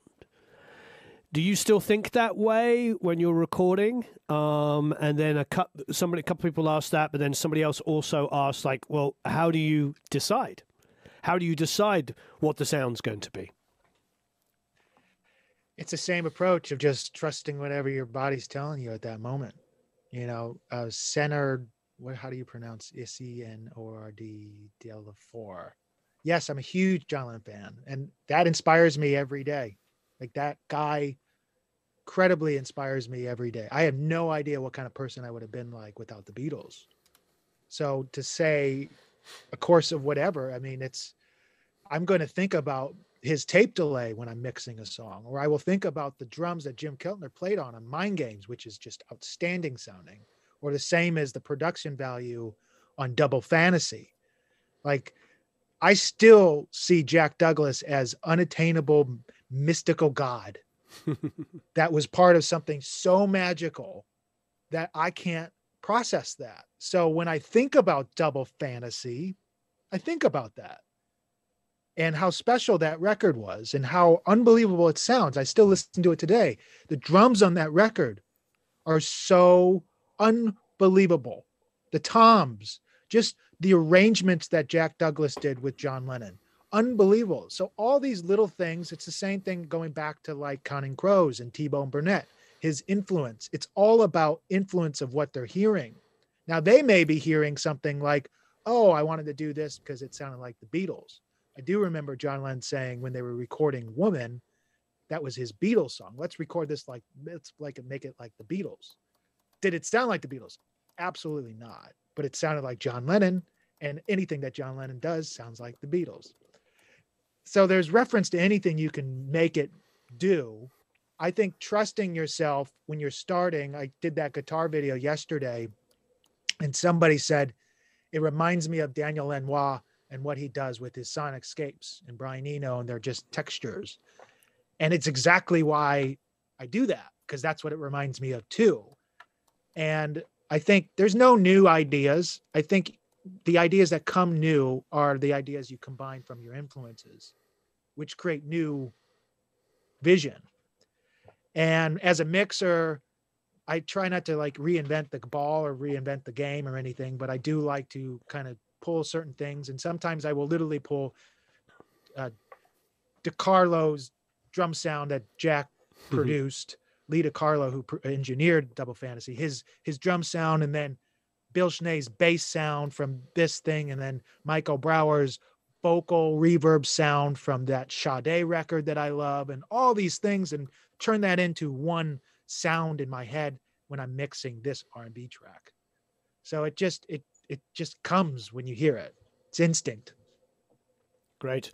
I'm cherry picking some great questions here. Here's one I think we should talk about because I get asked it um, maybe 25 times a day. And I have my answer. I'm not going to influence yours, but how much headroom do you leave for the mastering process? Can't tell you how many times I get asked that day. Well, I think that was important five, ten years ago. I'm not sure if it's as nearly as important now, knowing that the architecture and these DAWs can handle overs, 32 bit stuff like that, up processing. I mean, I remember back in years and layway days, you would end up going and trying to find out how do you make why isn't an in the box mix as good as a console mix? And at the time, I believe that the busing system in Pro Tools specifically, I'll talk about that because that's what I use, was in sense that by the time you bottleneck down to your master, if you were, you know, hitting lights and stuff, that it just sounded clamped and not very pleasing. So if you brought everything down with clip gain and you're hitting your two bus quieter, it just was leaving a lot more headroom. It's like if you hit electronics hard, you're going to start clamping things down. Now I think you can get away with the things a little bit easier, but off of approach and what I do, and I'm sure what Warren does similar sometimes is you end up kind of going into a routine. And for me, I like to get a rough mix going, and I always ask the client to make sure they include the ref, but make sure that the prints, the session sounds like the ref relative without the EQ and the reverbs and stuff. But the balance is close. And then when I put it on, I can bring everything down clip gain right away. So the peak is negative four. That's my sweet spot. So when I put in my buses, they're only tapping a little bit right away, and I don't have to do a ton of gain staging. There was another question about do I start every mix with the drums? And it's yes, only because that's I, I have a hard time starting with a guitar and a vocal and knowing that there's drums in there. It's only because I like drum and bass and I feel that that's a super important element. And I don't think that it, it causes problems with my vocal, saving it to last. I don't know why, it just doesn't seem to ever affect it. I've tried a couple times to do it the other way around and it's a disaster. So I just stay with my way. For some reason, it does work, but it's the same as my favorite mixers all do uh, audience perspective drums, and I do drummer's perspective. So it Sure. doesn't mean I'm following anything crazy. No, I I think uh, this this is a good question when you talk about the mixing vocals first or last. I think if if you're producing a record really well, you're starting off with a vocal and then building the tracks around it. So if that's been done really really well, like I quite often I've got close to a keeper vocal and acoustic guitar before I even add instruments, and quite and you can list thousands of records made where they use some of the earliest vocals because everybody has performed around them and nothing feels better especially in a pre kind of gridded world where the musicians were playing off of the lead vocal. So why do i bring that up? I bring that up because then it doesn't really matter which order you mix in because you can mix the drums first because everything works around the vocal. I think it's a difficult world where you know the vocals left till the very very end and there, there was no scratch vocal in the whole process and you just built a track up you might be th- moving between the vocal and the tracks trying to figure out how to make them relate together but in a more traditional recording environment where you have a great scratch vocal you're tracking around you can you can and there's obviously going to be different opinions but you can leave the vocal till last because they've been recorded to fit around it um, so I, there's a ton of really good questions here. Um, there, some some of them are sort of yes and no. Oh, by the way, Slick with the K, S L I K. We did answer that question about recording uh, vocals um, in a room. You maybe s- slipped off and went to another video and came back. But if you go back earlier, we talked about that. We talked about how Rage Against the Machine recorded vocals in a room, how Garth did it, all that stuff.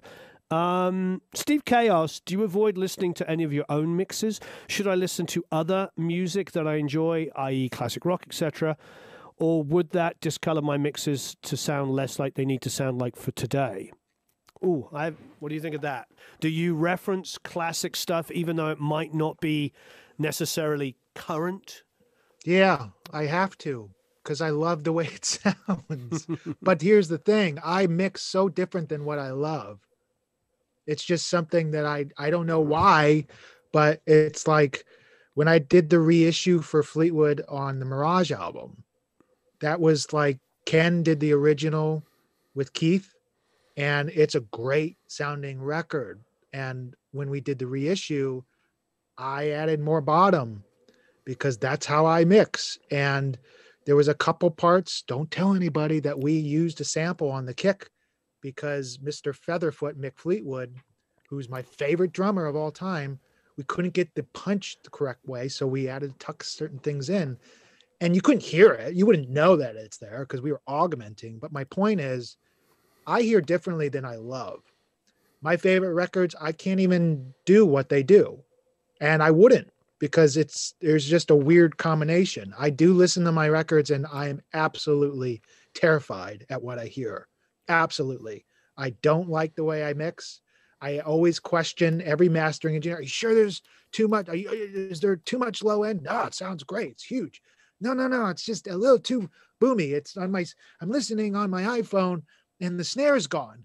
It, the limiter on my it's something's gone. And like I'm my worst critic. It's always going to sound the worst as the person. It's the same as the singer saying, "Can you turn can you turn my vocal down a little bit?"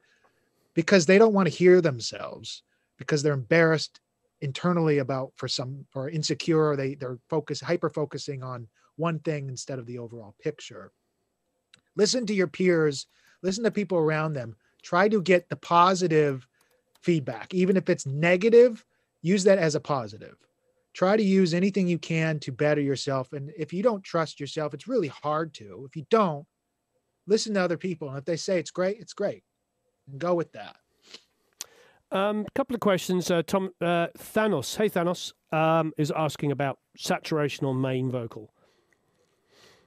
Yeah, I like the I call it the fur. You know, it's I don't like super black keysy kind of distorted vocals when it doesn't need to be there, but when it does, it's awesome. You know, the decapitator is phenomenal.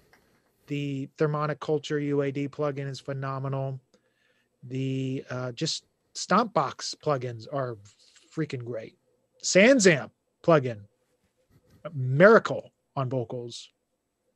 Uh, Klanghelm has a thing, I think it's called SDR. Somebody will correct me, SDR something that lets you go between transformer, tape, tube, uh, solid state, and overdrive. And that will allow you to do all these sort of unique distortions. When you're a mixer and everyone's kind of staying in the box, you want to create your own sounds. So if you can find your own distortion box, if you have the option to do a loop back, that's why I was talking about tape machines earlier, cheaper tape machines, is because you can do stuff that no one else can do with distortion. And then your mixer goes, or your client goes, How did you do that? Because they don't have access to that certain thing. So find stuff, even if you're at like a garage sale and there's like old receivers, you know, that I think they used to make those high fidelity reverb spring delays for hi fi systems and stuff like that. It's just cheap, old, realistic, you know, brand reverb, stuff like that. Try to incorporate all these unique custom things into your sounds, and then you're independent from other people. And that's a kicker. Same as reverb, same as reamping and stuff like that. No, that's absolutely fantastic. Um,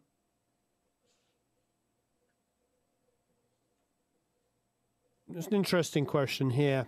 So Emery or Emra um, Tamer or Tama says, Marc, how much are you being involved in a project? For example, do you come up with the ideas of, let's say, do you suggest you wouldn't use that guitar part or change an instrument completely? I mean, obviously, the quick answer to that would be, you know, are you if you're the producer, then obviously that's a big part of your job. But I think maybe another way of looking at that question is like, just say somebody sends you something to mix, and you like it, and you you're kind of invested in it. You think it's a great song, you like the artist, think they have a great voice, you think the arrangement's good, but there's things that you just wish they had redone. How you know, not necessarily. I think this is the kicker because obviously, if something's terrible, we all go, "That's terrible, redo it." But if you felt like something could uh, have something added to it that would really take it over the edge, do you find yourself doing that, or do you think you're always balancing kind of time and money? You know, going well. If I get them to retrack that, I won't hear it from them for three weeks. How, what do you? What's your what's your sort of process? You have to kind of, yeah, you have to balance. Warren, you know this. You have to balance your relationship like almost like you're a therapist with the artist. So what you're doing is you're sensing their temperament. So if you feel that it needs to be redone, you have to decide when it's right to tell them. The other thing is that half the time, if the music's great and it sounds great, and you know that their temperament's going to be a certain way, you just move on, you mix it, and you're excited, and you move on. It is what it is. You have to always remember when it is what it is, you you you move on. That's the performance. That's the representation they're trying to achieve. Moving on, and then sometimes weird stuff happens where you get, you know, called and they're like, "We want you to mix this song or this record," and you listen, and you're like, "This is really good," and then they get excited, and then you start like befriending each other. And I, I'm dealing with that right now with this artist named Zeev, who's phenomenal writer, and he's been producing his own stuff for a long time. And um, I just really jived with him really well, and I gave him some ideas, and he was super open to it. And now, like we're talking about, you know, my assistant is like going to reamp some stuff on his synth with like literal real analog synth bass versus it software based stuff like that and it's like you just kind of inspire yourselves when you're working with clients. I just want to create the best thing i can create. The song isn't great and i'm being asked to work on it i do reach out and try to help as many people as i can. Even if the song in my opinion isn't amazing i just want to help.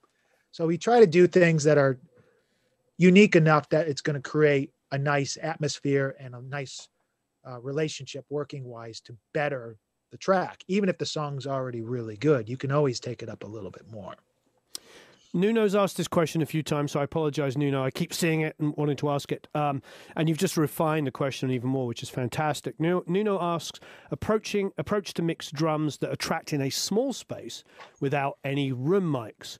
And then Nuno adds, I like to send drum tracks to the IK Sunset Sound Reverb, that's the, the room emulation, and also likes the ST Devil-Loc. Do you have any tips for when somebody sends you something which is literally kick snare, pair of overheads? Yeah, I like the dead drum sound. I grew up loving Rumours. I was about to say Rumours. Yeah, yeah, I mean, that's as dead as you can get. I mean, Warren's done drums in that room. It's yep. carpet, literally. Fuzzy little fuzzy stuff, creating the most dead sound you can imagine.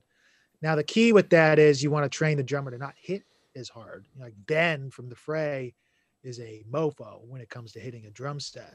It's incredible drummer. But like I always used to, when I remember first hearing the Fray before they were even signed, I used to go, that guy reminds me of Fleetwood Mac. Yeah. Just his performance, his vibe, everything about it. So it does matter what Plus kind he, of drummer he has the brain. He has the brain of a producer. He wants to produce, so he thinks Yeah. about his drums in the context of the song, as opposed to here's this great fill I just made up. Exactly. Yeah. Exactly. Just for the song. So, but Mhm. I would say a drummer like Ben or a drummer like Mick Fleetwood in a dead room will always succeed because of that. Or Ringo. That's why if you listen to Plastic Ono Band, which we're hitting 50 years now, going back to John Lennon, Ringo's drum sound on that album is unbelievable. Mhm. And that's like a lot of it is just because he's decided not to play cymbals or he's playing light. So I learned right away in the beginning that the best way to get a unbelievable drum sound is to have the drummer play very light and then amplify it with great preamps and compression and stuff to make it sound bigger than life. Now, if you get the tracks and they aren't played like that and the cymbals are too much, just take them down. I mean, there's so much opportunity now where you can reamp or you can re uh, sample or do anything you need to fake it. And as a mixer, you need to do it in a way that no one knows you're doing it. You don't want to hear the gun on the snare. So you have to like automate triggers. So if it's light and there's ghost notes, you got to keep the original, all sorts of little tricks. So James is asking because um, all the academy members, by the way, hi everybody from the academy here. Lots of you here, amazing. Obviously, know that I use um, Pultecs. Whether I'm mixing hybrid or not, I try. You know, whether I'm mixing through the full console or I'm just using it for more of a monitoring situation, I do. There's a couple of things that are pretty irreplaceable for me. Not to say there isn't plugins for them, but it's usually the bus compressor. Obviously, if I can, I hit that. Obviously, I have the Tegeler or the Tigala um, Creme bus compressor as well. And I have Pultecs, particularly on the bass. It's absolutely amazing. Um, they're asking, what is it for you? Is there like certain pieces of hardware? Oh, you're looking. Certain pieces of Someone's asking hardware. that you- about Atticus. Oh. Oh yeah, yeah. Hardware is so I can be confident to say that in the box I, I could do what I do. I'm very happy. Now, if I have a choice, hardware. I do like it. It does matter to me. It does help me get to a place faster. Big fan of the API 5500 EQ. It creates a very instant sound that really works well. The plugin does something similar, but doesn't do it. Same as the TubeTech multiband, it does something different. Same as the Tegeler audio compressor that I have down here. That's the uh, Swishcraft. That is its own device. I don't even know what it does. I'm trying to talk to Michael and say, what is it doing? And I'm believing it's the line amps or the tubes that are making it sound magical. Same as the Tiga reverb, same as the Bricasti reverb. Like all these things really do work great. And there are plug-in counterparts. Like my template is set where I have my Bricasti running into the full mix, but I have the seventh heaven running 100% into all the stems in the same setting. And it's totally doing the same thing. Now, there's a little bit of a difference in a sound character that I like on a hardware, but relative plug-in stuff is just as go-to, or I almost feel like, oh no, I'm not as I got I can't as it is hardware. Converters, summing mixers. You know, if I had great speakers and a great DAC, two channel with a good monitor controller in a good sounding room, I could do anything. I would feel just as strong to do it, but I like to be comfortable. It's like people wanting to work in their own world. It's like why people chose Reebok instead of Nike. It's why people drive Chevy trucks instead of Toyotas. They like what they like, they stay what they like. They might like a Gibson better than they like a Schecter, whatever it is. I think the biggest kicker is choose what you love, build what you love, know that there's access around it, learn how to get around it, and then do what you do. Does that Couple- make sense? That makes perfect sense. A lot of people are uh, asking, you know, about getting rid of harshness and stuff, and I've been trying to answer that in some of the questions. I'm a big fan, obviously, of oeksound, but you know, uh. And then uh, somebody asked Oak here, sound the soothe the yeah, soothe, Soothe? Tune, yeah, yeah, Soothe Tune, which is an absolutely amazing plugin. Um, It's dangerous. Got to be careful with that. Oh, folks. yeah, because you're going to want to put it on everything. It's you almost know like it. the clariphonic, where it's like if you don't step away from it, you're you're going too far. Yeah. Always do the fifteen percent, ten percent rule. yeah. oh, this sounds good. Come back ten percent. Yeah, no, I, I agree. We we had this conversation inside the academy and, and underneath a lot of the video, and I was answering people. I was talking about uh, Karen, I think is here. Hey, Karen, um, was asking Karen Bassett was asking about that inside the academy, and I, you know, the thing about it is, is like I agree with you because it's Jim Scott who told me that I was working did an album with Jim, and we were mixing, and he he's just said to me, the loudest thing in the mix is the last thing you mixed. You know, wake up in the morning, come back, and the vocal's 2 dB too loud because guess what? You were mixing the vocal. Wake up in the morning, come in, the guitar's too loud because guess what? You're mixing the guitar. So you just sort of learn to get it and go, yeah, that sounds great. I love how bright it is. And then you just back it off. We just did that yesterday. I was mixing a track here um, and I brightened on, you, you and I were talking about it yesterday, Marc. I used the Oh, SSL the to to brighten it because there's something magical about SSL EQs. But I also put in my Phoenix EQs because those Phoenix EQs are super sweet on the high end. And then I put a little tiny bit in on the plugin. so I had plug-in a dB, two, three dB on the SSL because you can be quite aggressive with it, and then two or three dB on the Phoenix. And I'm like, yeah, this is, sounds great. Put on the headphones. It's like, whoa, what happened? You know, Yeah. I just got carried away. I ended up putting 7 dB of subtle changes, but unfortunately, that many subtle changes meant it was pretty unbearable. So you, yeah, you learn to sort of go, okay, whatever I'm doing, I'm just going to back it down a little bit. And you end up getting it right almost every time, first time, rather than waiting to hear it and know that you were wrong. Yeah. I, I agree. I mean, I could tell you that I came from the land of, oh, don't EQ it or take it easy on the EQ because it's going to add phase and stuff. But and then I remember Ken and I were tracking at the village on Studio One, Studio A, whatever one room you want to call it, the first room when you enter to the left. And it's the one with the 8048 console. And we were recording piano. And he's like, it feels dark. And I felt like it felt fine. But he literally popped in the 1081s and pegged top bands of both of the EQs. And I'm just like, what are you doing? Like as a joke, because we're buddies and we goof around in sessions and stuff.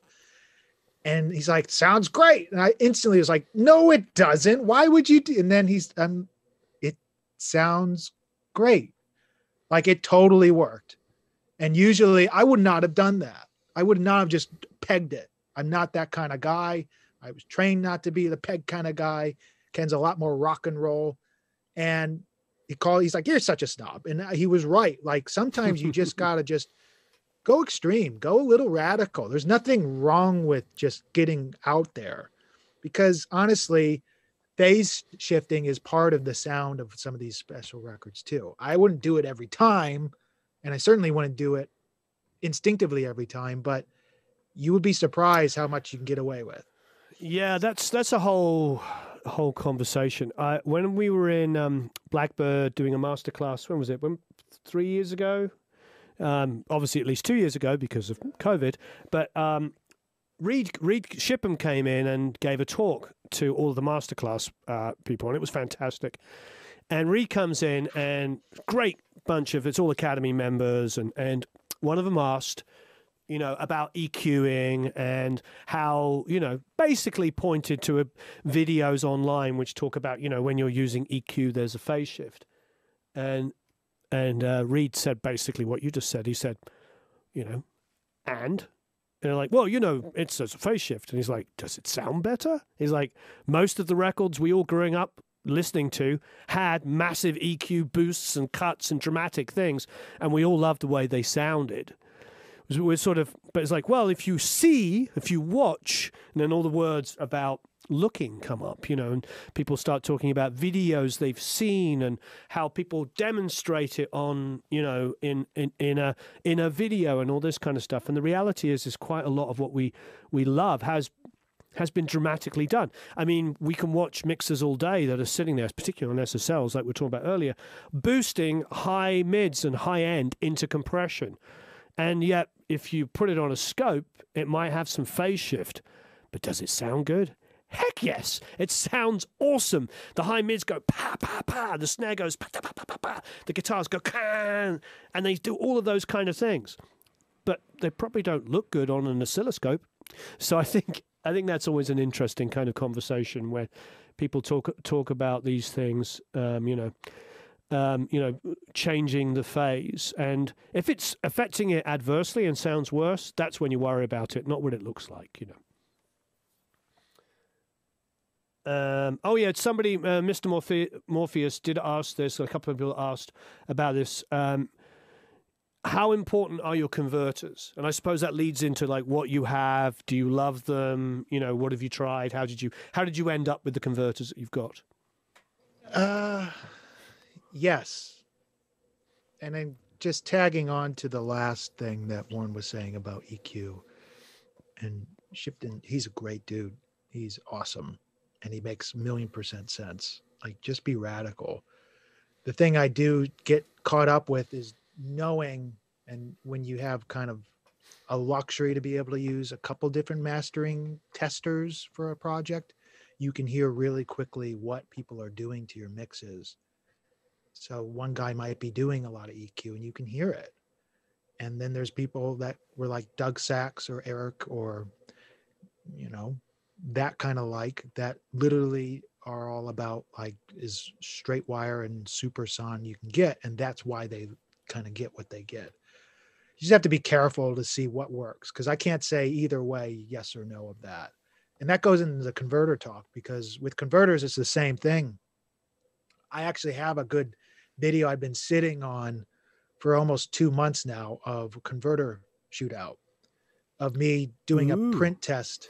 And I don't know if people will like it or not. It might get, you know, 300 views, but it's it's pretty it's pretty cool, but it's subtle, but it's like I say, that 5% you can't get, you can't get it.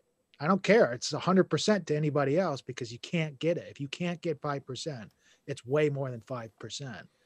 So it's like when you're starving and you don't have money, you five dollars is everything. So five percent is a lot. Converters are getting really good. Yeah, they are, aren't they? Like Pr- honestly, this little crazy. SSL two sounds really good. Mm-hmm. The Apollo sounds really good. The Lynx Aurora, who's going on 18 years or something. I have a pair of those. Really good. And I still have I have we have pretty much everything. We're blessed. We have yeah. We have the QES, the Pad 2. I don't know what happened to QES. Does anybody know what happened to that guy? He didn't respond to my emails. I hope he's okay. Sorry? Say again? He passed away. He passed away. Oh, it's terrible. Terrible. Yeah, he stopped responding. I didn't realize he had passed away. Sorry. But his pad two was just phenomenal. Then I have Apogees, old ones, even older, late nineties. The apology Yep. I have the back then. I had the the purple one. It's called I don't know what it's called, but it's got the soft limiting in it, and we still use it to print drums through. We're crazy The people. Rosetta or the pre-Rosetta? Oh, it's pre Rosetta. It's called. Oh, the purple in yeah, the 96K one. It's Yeah. the, the special edition. It's called literally called special edition is purple. It used to belong to Dave Jordan. It's what he made all of his great records on when when he went digital. Um, and then um, I have 192s. I have Lavrys. I have, I mean, I have all different kinds of things. And I'll be honest, I haven't, you know, and I use the audience stuff. Oh, and the Steinberg stuff is fantastic. I think we're a bit spoiled. And of course, Antelope, the new Antelope's amazing. UAD, we have the UAD ones, we have the X18s, uh, sorry, X16s, uh, we have an Apollo. I- I think, anyway, I'm waffling on, but my point is, I agree with you. We're at a place where the quality now is unbelievable. I think converters are important. I don't think it's going to make or break a single being a number one hit. I think the 192 was a little rough compared to the new Avid. I'm not even. It's not even new. It's five years old. But the newer Avid HDIO. Um, I have really boutique high end converters because of uh, my never ending journey of going after stuff. Karen, you said Digidesign 888s. Nothing sounds like that now.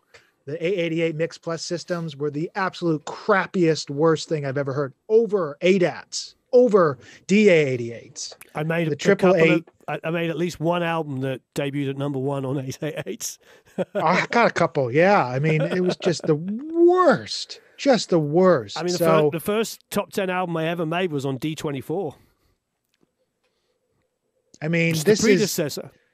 I mean, we could go back to like the Dash machine and like how great those sounded. I think Garth was believe- still using D24 when HD came out. And he was still making top 10 albums. Yeah, it's it. Uh, you know, think about all the records that came out between 2002 and 2009, whenever HD came out and Yep. really came around. Because I think Pro Tools 7, which was 2009, was starting to get better. yeah, seven better. four was a huge thing. But no, I think I think it was like 2004 I bought the HD system. So that's crazy that it's 16 slash 17 years old since you know it got absolutely amazing. I mean, HD on it's been sounding incredible.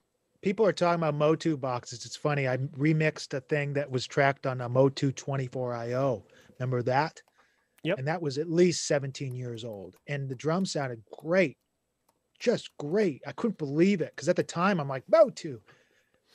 So I just think it's like, depending on where you're at and how you're trying to hear, and you always want the.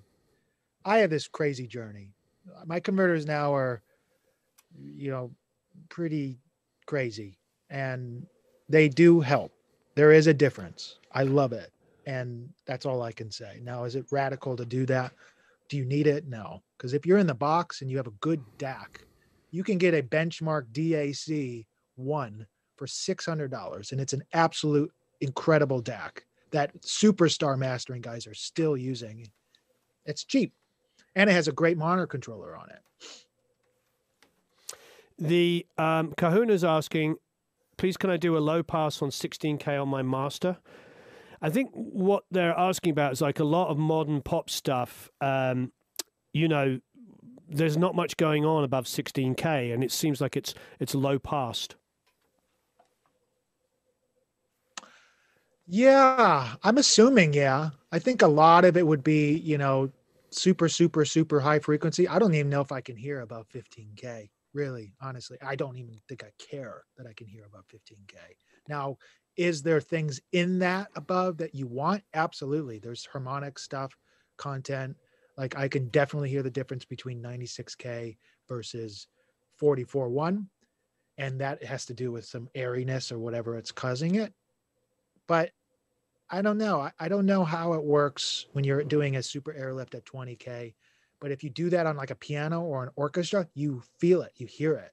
So you got to be careful when you're doing the high pass. I don't even like doing a super super low pass sometimes because sometimes some of that low stuff or the high stuff that you're cutting out is just perceived as something. You just got to decide if it's going to be best for you because once it goes to a MP3, it's going to shelve it down to 12K or whatever it is, anyways. I don't know what a 320 MP3 cuts out at. Do you? Anyone? Anyone? Not off the top of my head. I'm sure we could Google it in a second. Um, people are asking about the Burl. Um, I have a very strong opinion about the Burl. I think it's absolutely phenomenal, depending on how you record. When we uh, when we were doing the Aerosmith record years ago, ten years ago now, nine years ago, whatever it was, um, we got to try out every single one, and we ended up with the Lavry of all of them.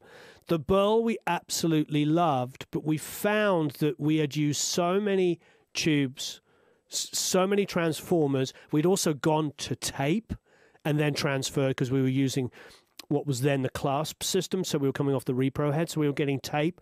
We were doing so much analog schmanalog along the way, so much of it that we actually found the burl was incredible and adding all these beautiful lows and all this kind of stuff, but we actually didn't need it because we had already shaped the sound inside of Pro Tools the way that we wanted to be because we'd already come off tape and we'd already thrown ribbons and tubes and stuff like that. However, when you don't have several million dollars worth of gear like we did, because it was ridiculous, we had everything we wanted. Two tape machines running together at 15 IPS, two inch tape machines, drums going on to a 16 track head stack. I mean, everything was fat with a pH. However, the Burl is going to be wonderful. This is my opinion for anybody who doesn't have a million dollars worth of gear because it does impart a big sonic footprint on it. So I'm a big fan of it. I really am. For us, we didn't find like we needed it. We actually wanted a facsimile of the mix that we were putting down through the Neve. But not to take anything away from it, it's it, it's great. The the Burl is amazing, especially if you want an analog sound and you don't have all of that gear. Anyway, that's just my personal opinion. Yeah, I think it's exactly right. I owned a bomber, and I've used the the mothership a lot in different studios, including East West, quite a lot at East West. Um, it's really cool for tracking and certain things. For mixing and print, I do not like it. And that's because I don't need to color that section. I also don't want to use something that's super clean. I do do a demonstration on that converter video. My favorite converter is Josh Florian's JCF converters. The reason why I like his stuff is because it is by far the most Sorry, musical stuff do you like? JCF audio. That's Josh Florian's converter. I, I, I have a couple of friends who have those and absolutely love those. Yeah, they're very so I have 16 out and 8 in. It's ridiculous. I know it, but it's oh man, makes me so happy because it really does. There's no electronics in the chain. There's a transformer, but you're not hearing the transformer. You're hearing what the music is doing. It's very, very open sounding. The Burl, it does this cool thing but it's coloring in a way. And I talk about that where like for a kick drum, it's really neat, or for a vocal, it's adding neat color if you need that color. So if you, let's say your vocal mic isn't doing exactly what you're wanting it to do, the Burl would actually do really good at making it sound more colorful. Uh, but for me, I like to get that size thing, and I feel like I'm able to get that with JCF really well. Somebody's asking about the DW Fearn. I'll give you my quick 30 second on DW Fearn. When you sit and talk to, to, to Doug, when you talk to him, it feels like you're Great talking. guy. Oh, he's a great guy. You feel like you're talking to like one of the engineers at Trident who's designing equipment that they want to use for their studio because we all know that Trident produced those A range consoles because that's what the engineers wanted and they were very specific and they wanted a certain sound and they wanted certain things and that's Doug he he ended up designing something that he wanted so I think that's why I personally love the DW Fearn stuff I actually have always rent it or borrow it because I don't have enough spare money to buy it, but I should probably just buy something. Uh, Now you you're a user, aren't you? Yeah, I have a preamp, but I think the compressor is where I am the same with you. Like, "Ah, I gotta get one. Yeah. Preamp is outstanding. Nothing sounds like it. The DI is outstanding. Nothing sounds like it. Somebody asked earlier about explain Bill Schnee's bass sound. Well, for me, I think a lot of it's his DI. No one makes his DI. This isn't a uh, Fearn DI, but it's something different. But the Fearn DI was one of the few DIs I heard that did something very similar to this, the DI that Dan Garcia and Bill Schnee, I believe Al Schmitt, have. Is a very, very unique, very gorgeous, large sound. The preamp on the Fearn going back to what we were talking about, is super lush, super fast, super clean, but not like Grace preamp clean or Millennia preamp clean. It's like gorgeous. And it's almost high gain, like a mastering lab preamp, where it just sounds enormous, thick. A tube preamp like a 610 is thick and dark and woolly sounding, but the Fearn is just it half of the reason why I like to use super gear is because it just makes it I just lose all of my insecurities of like, okay, I know this is going to sound great no matter what because I've used it in the past and it sounds unbelievable. The hard thing about not having a studio with a tracking capability anymore is that any new room I go into, I need to make sure that they have something similar. But if I'm putting up a bunch of tube microphones, half the time they don't sound anything like what I was hoping they sounded like or remembered mine sounding like or something like that. So it's all about going and experimenting and hoping for the best because half the time things aren't maintained the, the right way because it just can't. Gear as an analog falls apart. That's why apollo and these other companies um, the, the microphone modeling companies are just getting better and better and making things really really cool because you don't have to deal with the other problems like the breaking down and such Oh, this is James is asking a very interesting, possibly contentious question. I don't want to get into brands and things like that, but he's asking about what we feel about clones. Um, I think the what's the right way of putting this? I'm being delicate here. I think there's clones in electronics, and then there's clones in look. And if you're going to ask me what I prefer, that I do like some clones. Um, you ask about BAE. I love BAE, and I would call that a clone in electronics. And I don't want to go any further than that. So, you know, I like, you, you, you know, um, there was a time that uh, the original owner of that company, Brent Averill, um, who unfortunately passed away, was it last year or earlier yeah. this year? Yeah. Um, last year, yeah. Um, Brent Averill um, would buy in the late 90s and the early 2000s would buy Neves, 1073s, 1081s, 1084s, and he would rebuild them, clean them up, recap them, and then resell them at a fairly affordable price when he first started off.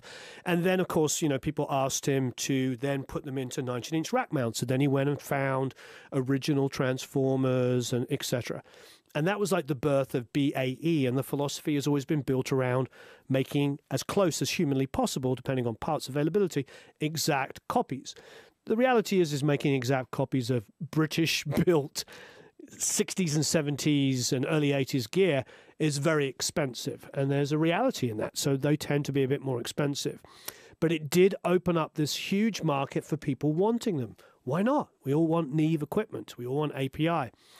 So that opens up the look like the gear kind of equipment. And I think that there is some really good, inexpensive things.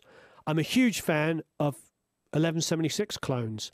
I feel like there's some inexpensive 1176 clones out there which are unbelievable. And my personal opinion on that is I have electronics engineer friends and they say to me, frankly, the components of 1176 are really cheap.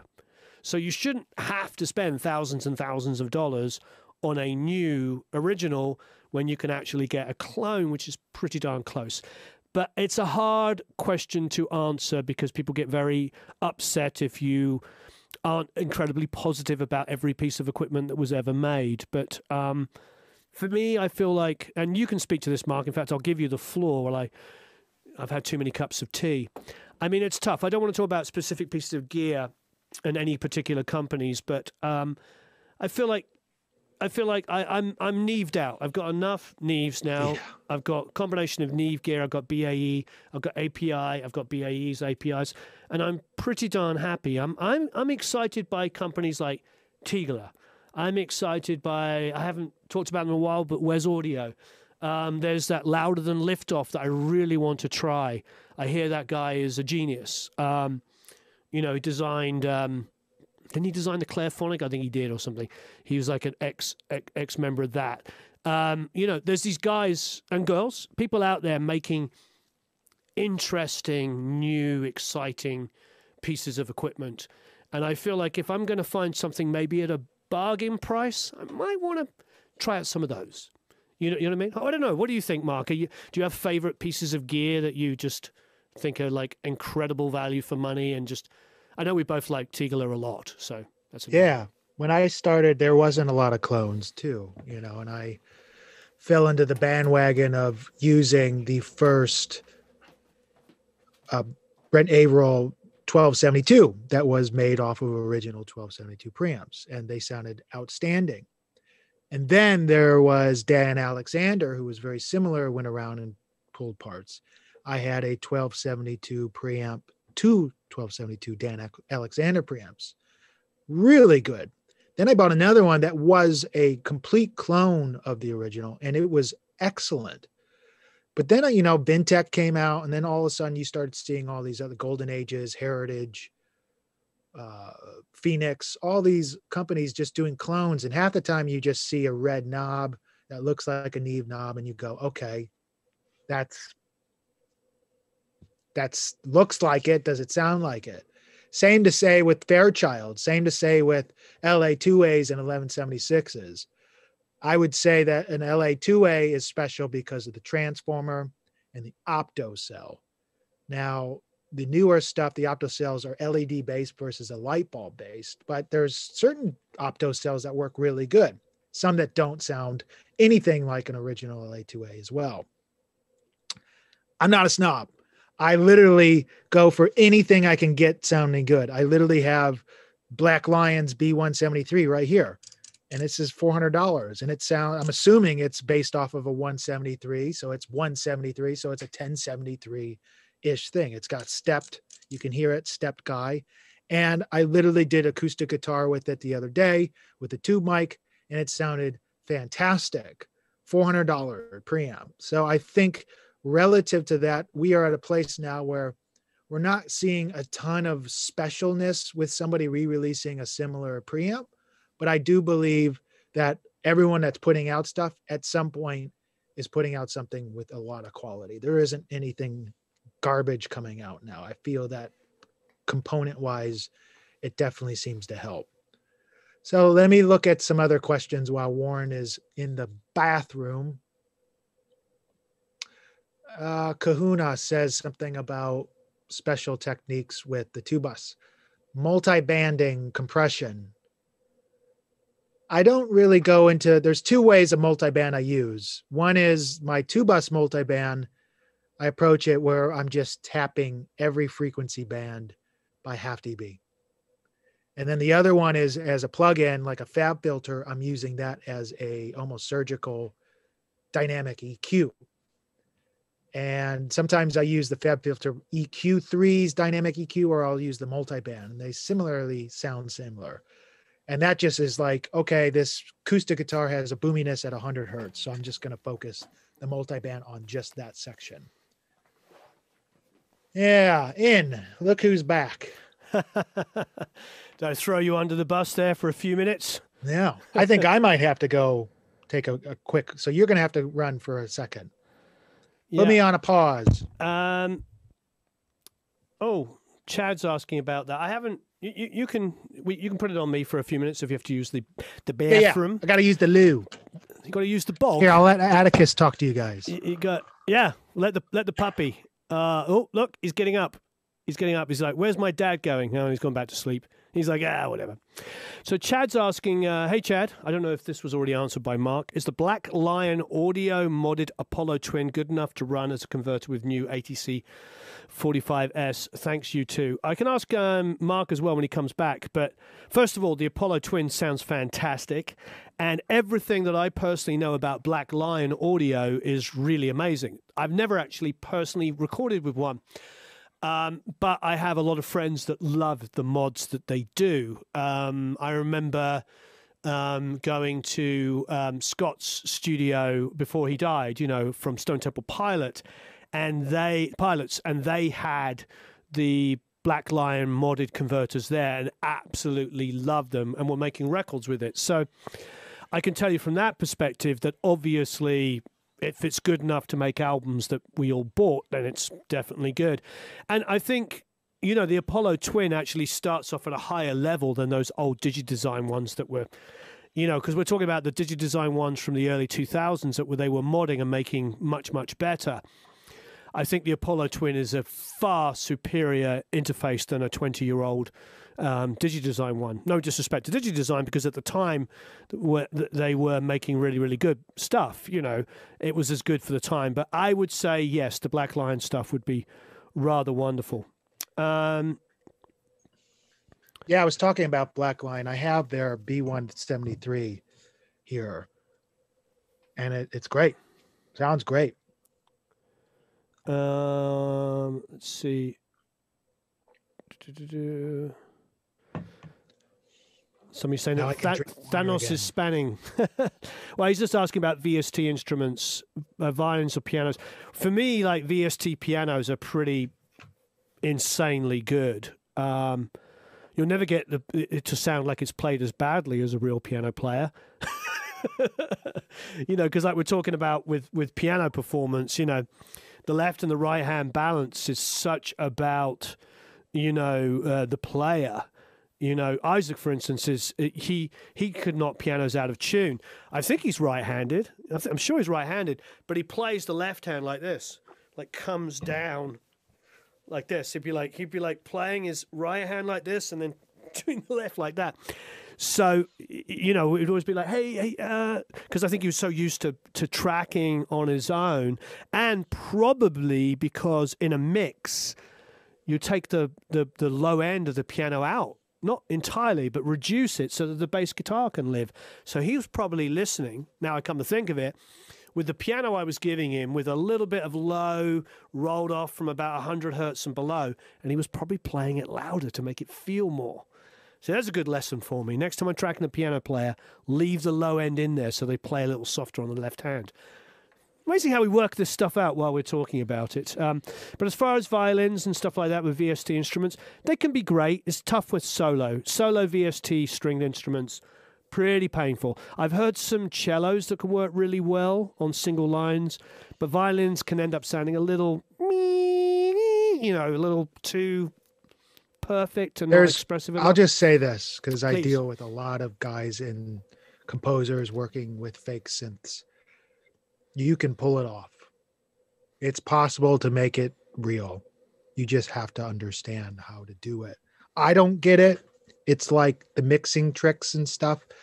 Um, I know guy composers that are using VST samples packs that everyone else are using that I get, and I literally asked where it was recorded. And it's all about the programming and understanding how to do the dynamics and the the foot pedal thing that I've seen a couple guys do with kind of some of the dynamics and such like that. But it is doable. Same as fake drums. Now there are plugins like the Soothe plugin or the the uh, what what what do you call that? The floss gloss gloss Gullfoss. That's great. They're a great company that does take some of that harshness out of these samples. But I some it's like ringing in some of the samples that I hear that I can't get out. Same as guitar uh, simulations and stuff, but it is getting better and better. And there are stuff where I just don't know if it's real or not. A hundred percent. Right. Well, fantastic. Um, I think we're we're coming near the end of this. I think let's do a couple of. Um, let's do first of all. Please hit the like button. It's absolutely fantastic. It's seven. It's been over seven hundred people consecutively watching this. It's pretty pretty wonderful. I appreciate you all. And of course, if you haven't already, check out the course. There is a link to it above here. So go and check out Marc's course. He is. Um,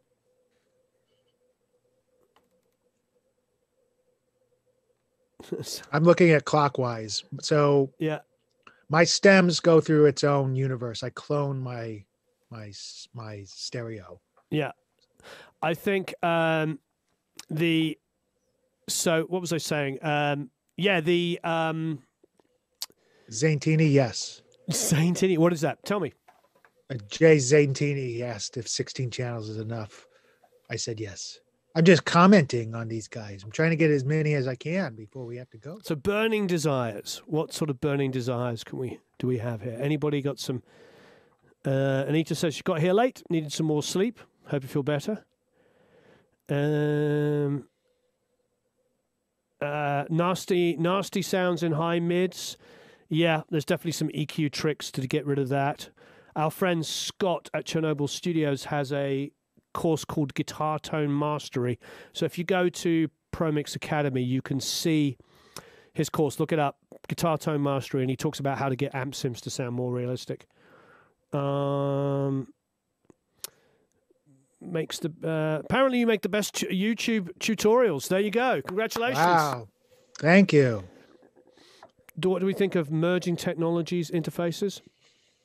Have you used them? Merging tech, what, say it again? Yeah, is it Merging emerging tech- technologies interfaces? I think he, I I can't remember. I can't remember if I used it or not. So I don't. I try not to have opinions on things that I don't use. Exactly. I Yeah. don't know what that is. Yeah, I've I've seen, Alcohol does not ever help a mix. It helps after a mix, but not during. No way does it ever help. Same as pot. Like, no way. Yantho says, "Have I had an experience with a CAD um, et, Equitek E300?" I think so. I've used some Is that CAD the big stuff. giant thing? I don't know. Says it's it had batteries leaked in it, so I, I don't know. I know there's some cheaper CAD. There's obviously originally CAD was like a super high end. Um, I remember the BBC used to have some and everything, but I don't know the newer stuff. I know the newer stuff. I did. Well, I did. I used I used a newer one. I think it was a ribbon as a mono room mic in Boston, and it was pretty amazing. Um, uh, I like CAD mics. Yeah. What's your uh, James is asking, what do you think of the best mix you've ever done? What are you most proud of, mix wise? I would say Fleetwood Mac only because it's the song I grew up on. Like that album had my favorite Fleetwood Mac song on it, which was um, Gypsy. And I feel like it was the easiest mix I've ever done because it was so well recorded and so easy. And it was the funnest mix I ever like. I almost started crying when I was doing it. Um, there's a lot. I like a lot of stuff but I, I hate 99% of everything I mix. I literally can't understand why I keep getting phone calls to work sometimes just because I get into these stumps and I'm just like, this isn't sounding great. But I'm getting closer to being consistent in my mind. And I think that's the key. But I've said this before you don't want to arrive anywhere yet. You always want to grow into stuff. So I'm still going after my journey of how to get the best or try to get the best sound my this year's struggle is um, dealing with transients with volume it's trying to be able to retain the transients i need with still making loud records it's been really difficult trying to figure that out even when it's mastered um, and maybe there's no way to do it but that's my my my goal Amazing. Yeah, lots of people love the uh, Gypsy mix. This has been fantastic. We've got uh, three minutes and we'll knock it on on the head. Thank any burning desires. Um, please hit that like button um, and stay. Um, it's this channel, good fellow. Stay tuned for Marc. More Marc. What is the next one you're going to do? You going to do the converters? i think the next one is going to be pre-delay Uh, okay. Yeah, I've, a lot of people have asked about that. there's been a constant question about reverb pre-delay. And then i think converters. And then i think um Tegeler reverb. Oh yeah, we And like then- Mika Hall. there's a couple other cool little sneaky ones that i'll i'll have i'm planning. I'm just trying to get my my focus. I've, I've got to decide if i like this dark mode. You can see it over here this pro tools dark mode i'm going back and forth every other project i do i'm in dark or the normal dark and normal My, see all of my personal stuff on uh, phone and laptop I have on the dark mode just because I'm on it too often and I get headaches otherwise. So I don't know about Pro Tools. I'm not sure about that. I did. I've been had a headache the last couple of days. It will not go away, and we've been working quite a lot on this track. So maybe that's what it was. Have you? Do you get headaches from working on the screens? Yes. And my tinnitus is not traditional. It's like it messes up my vision. Mm, So if, then I know I'm mixing too loud if my vision gets all right. kooky. So you just got to take care of your eyes and your ears and breaks, super breaks. Get outside, be in the sun as much as you can for a bit, and just take care of yourself. Amazing. So what do you think? We're going to do that pre-delay maybe next week. Pre-delay, yeah, next week, and then the converter one will come probably after that. Might as well get it out there. I've been delaying it for some reason. Paul, that guitar is a Gibson J160E. We talked about it earlier. So if you go back to the beginning of the video, we actually had a whole discussion on how to record it um, and all kinds of good stuff. Um, amazing. Well, I will see everybody in the Academy stream um, in about half an hour. I was hoping my lunch would be here because I ordered it over an hour and 15 minutes ago, but apparently not. Marc, it's been wonderful.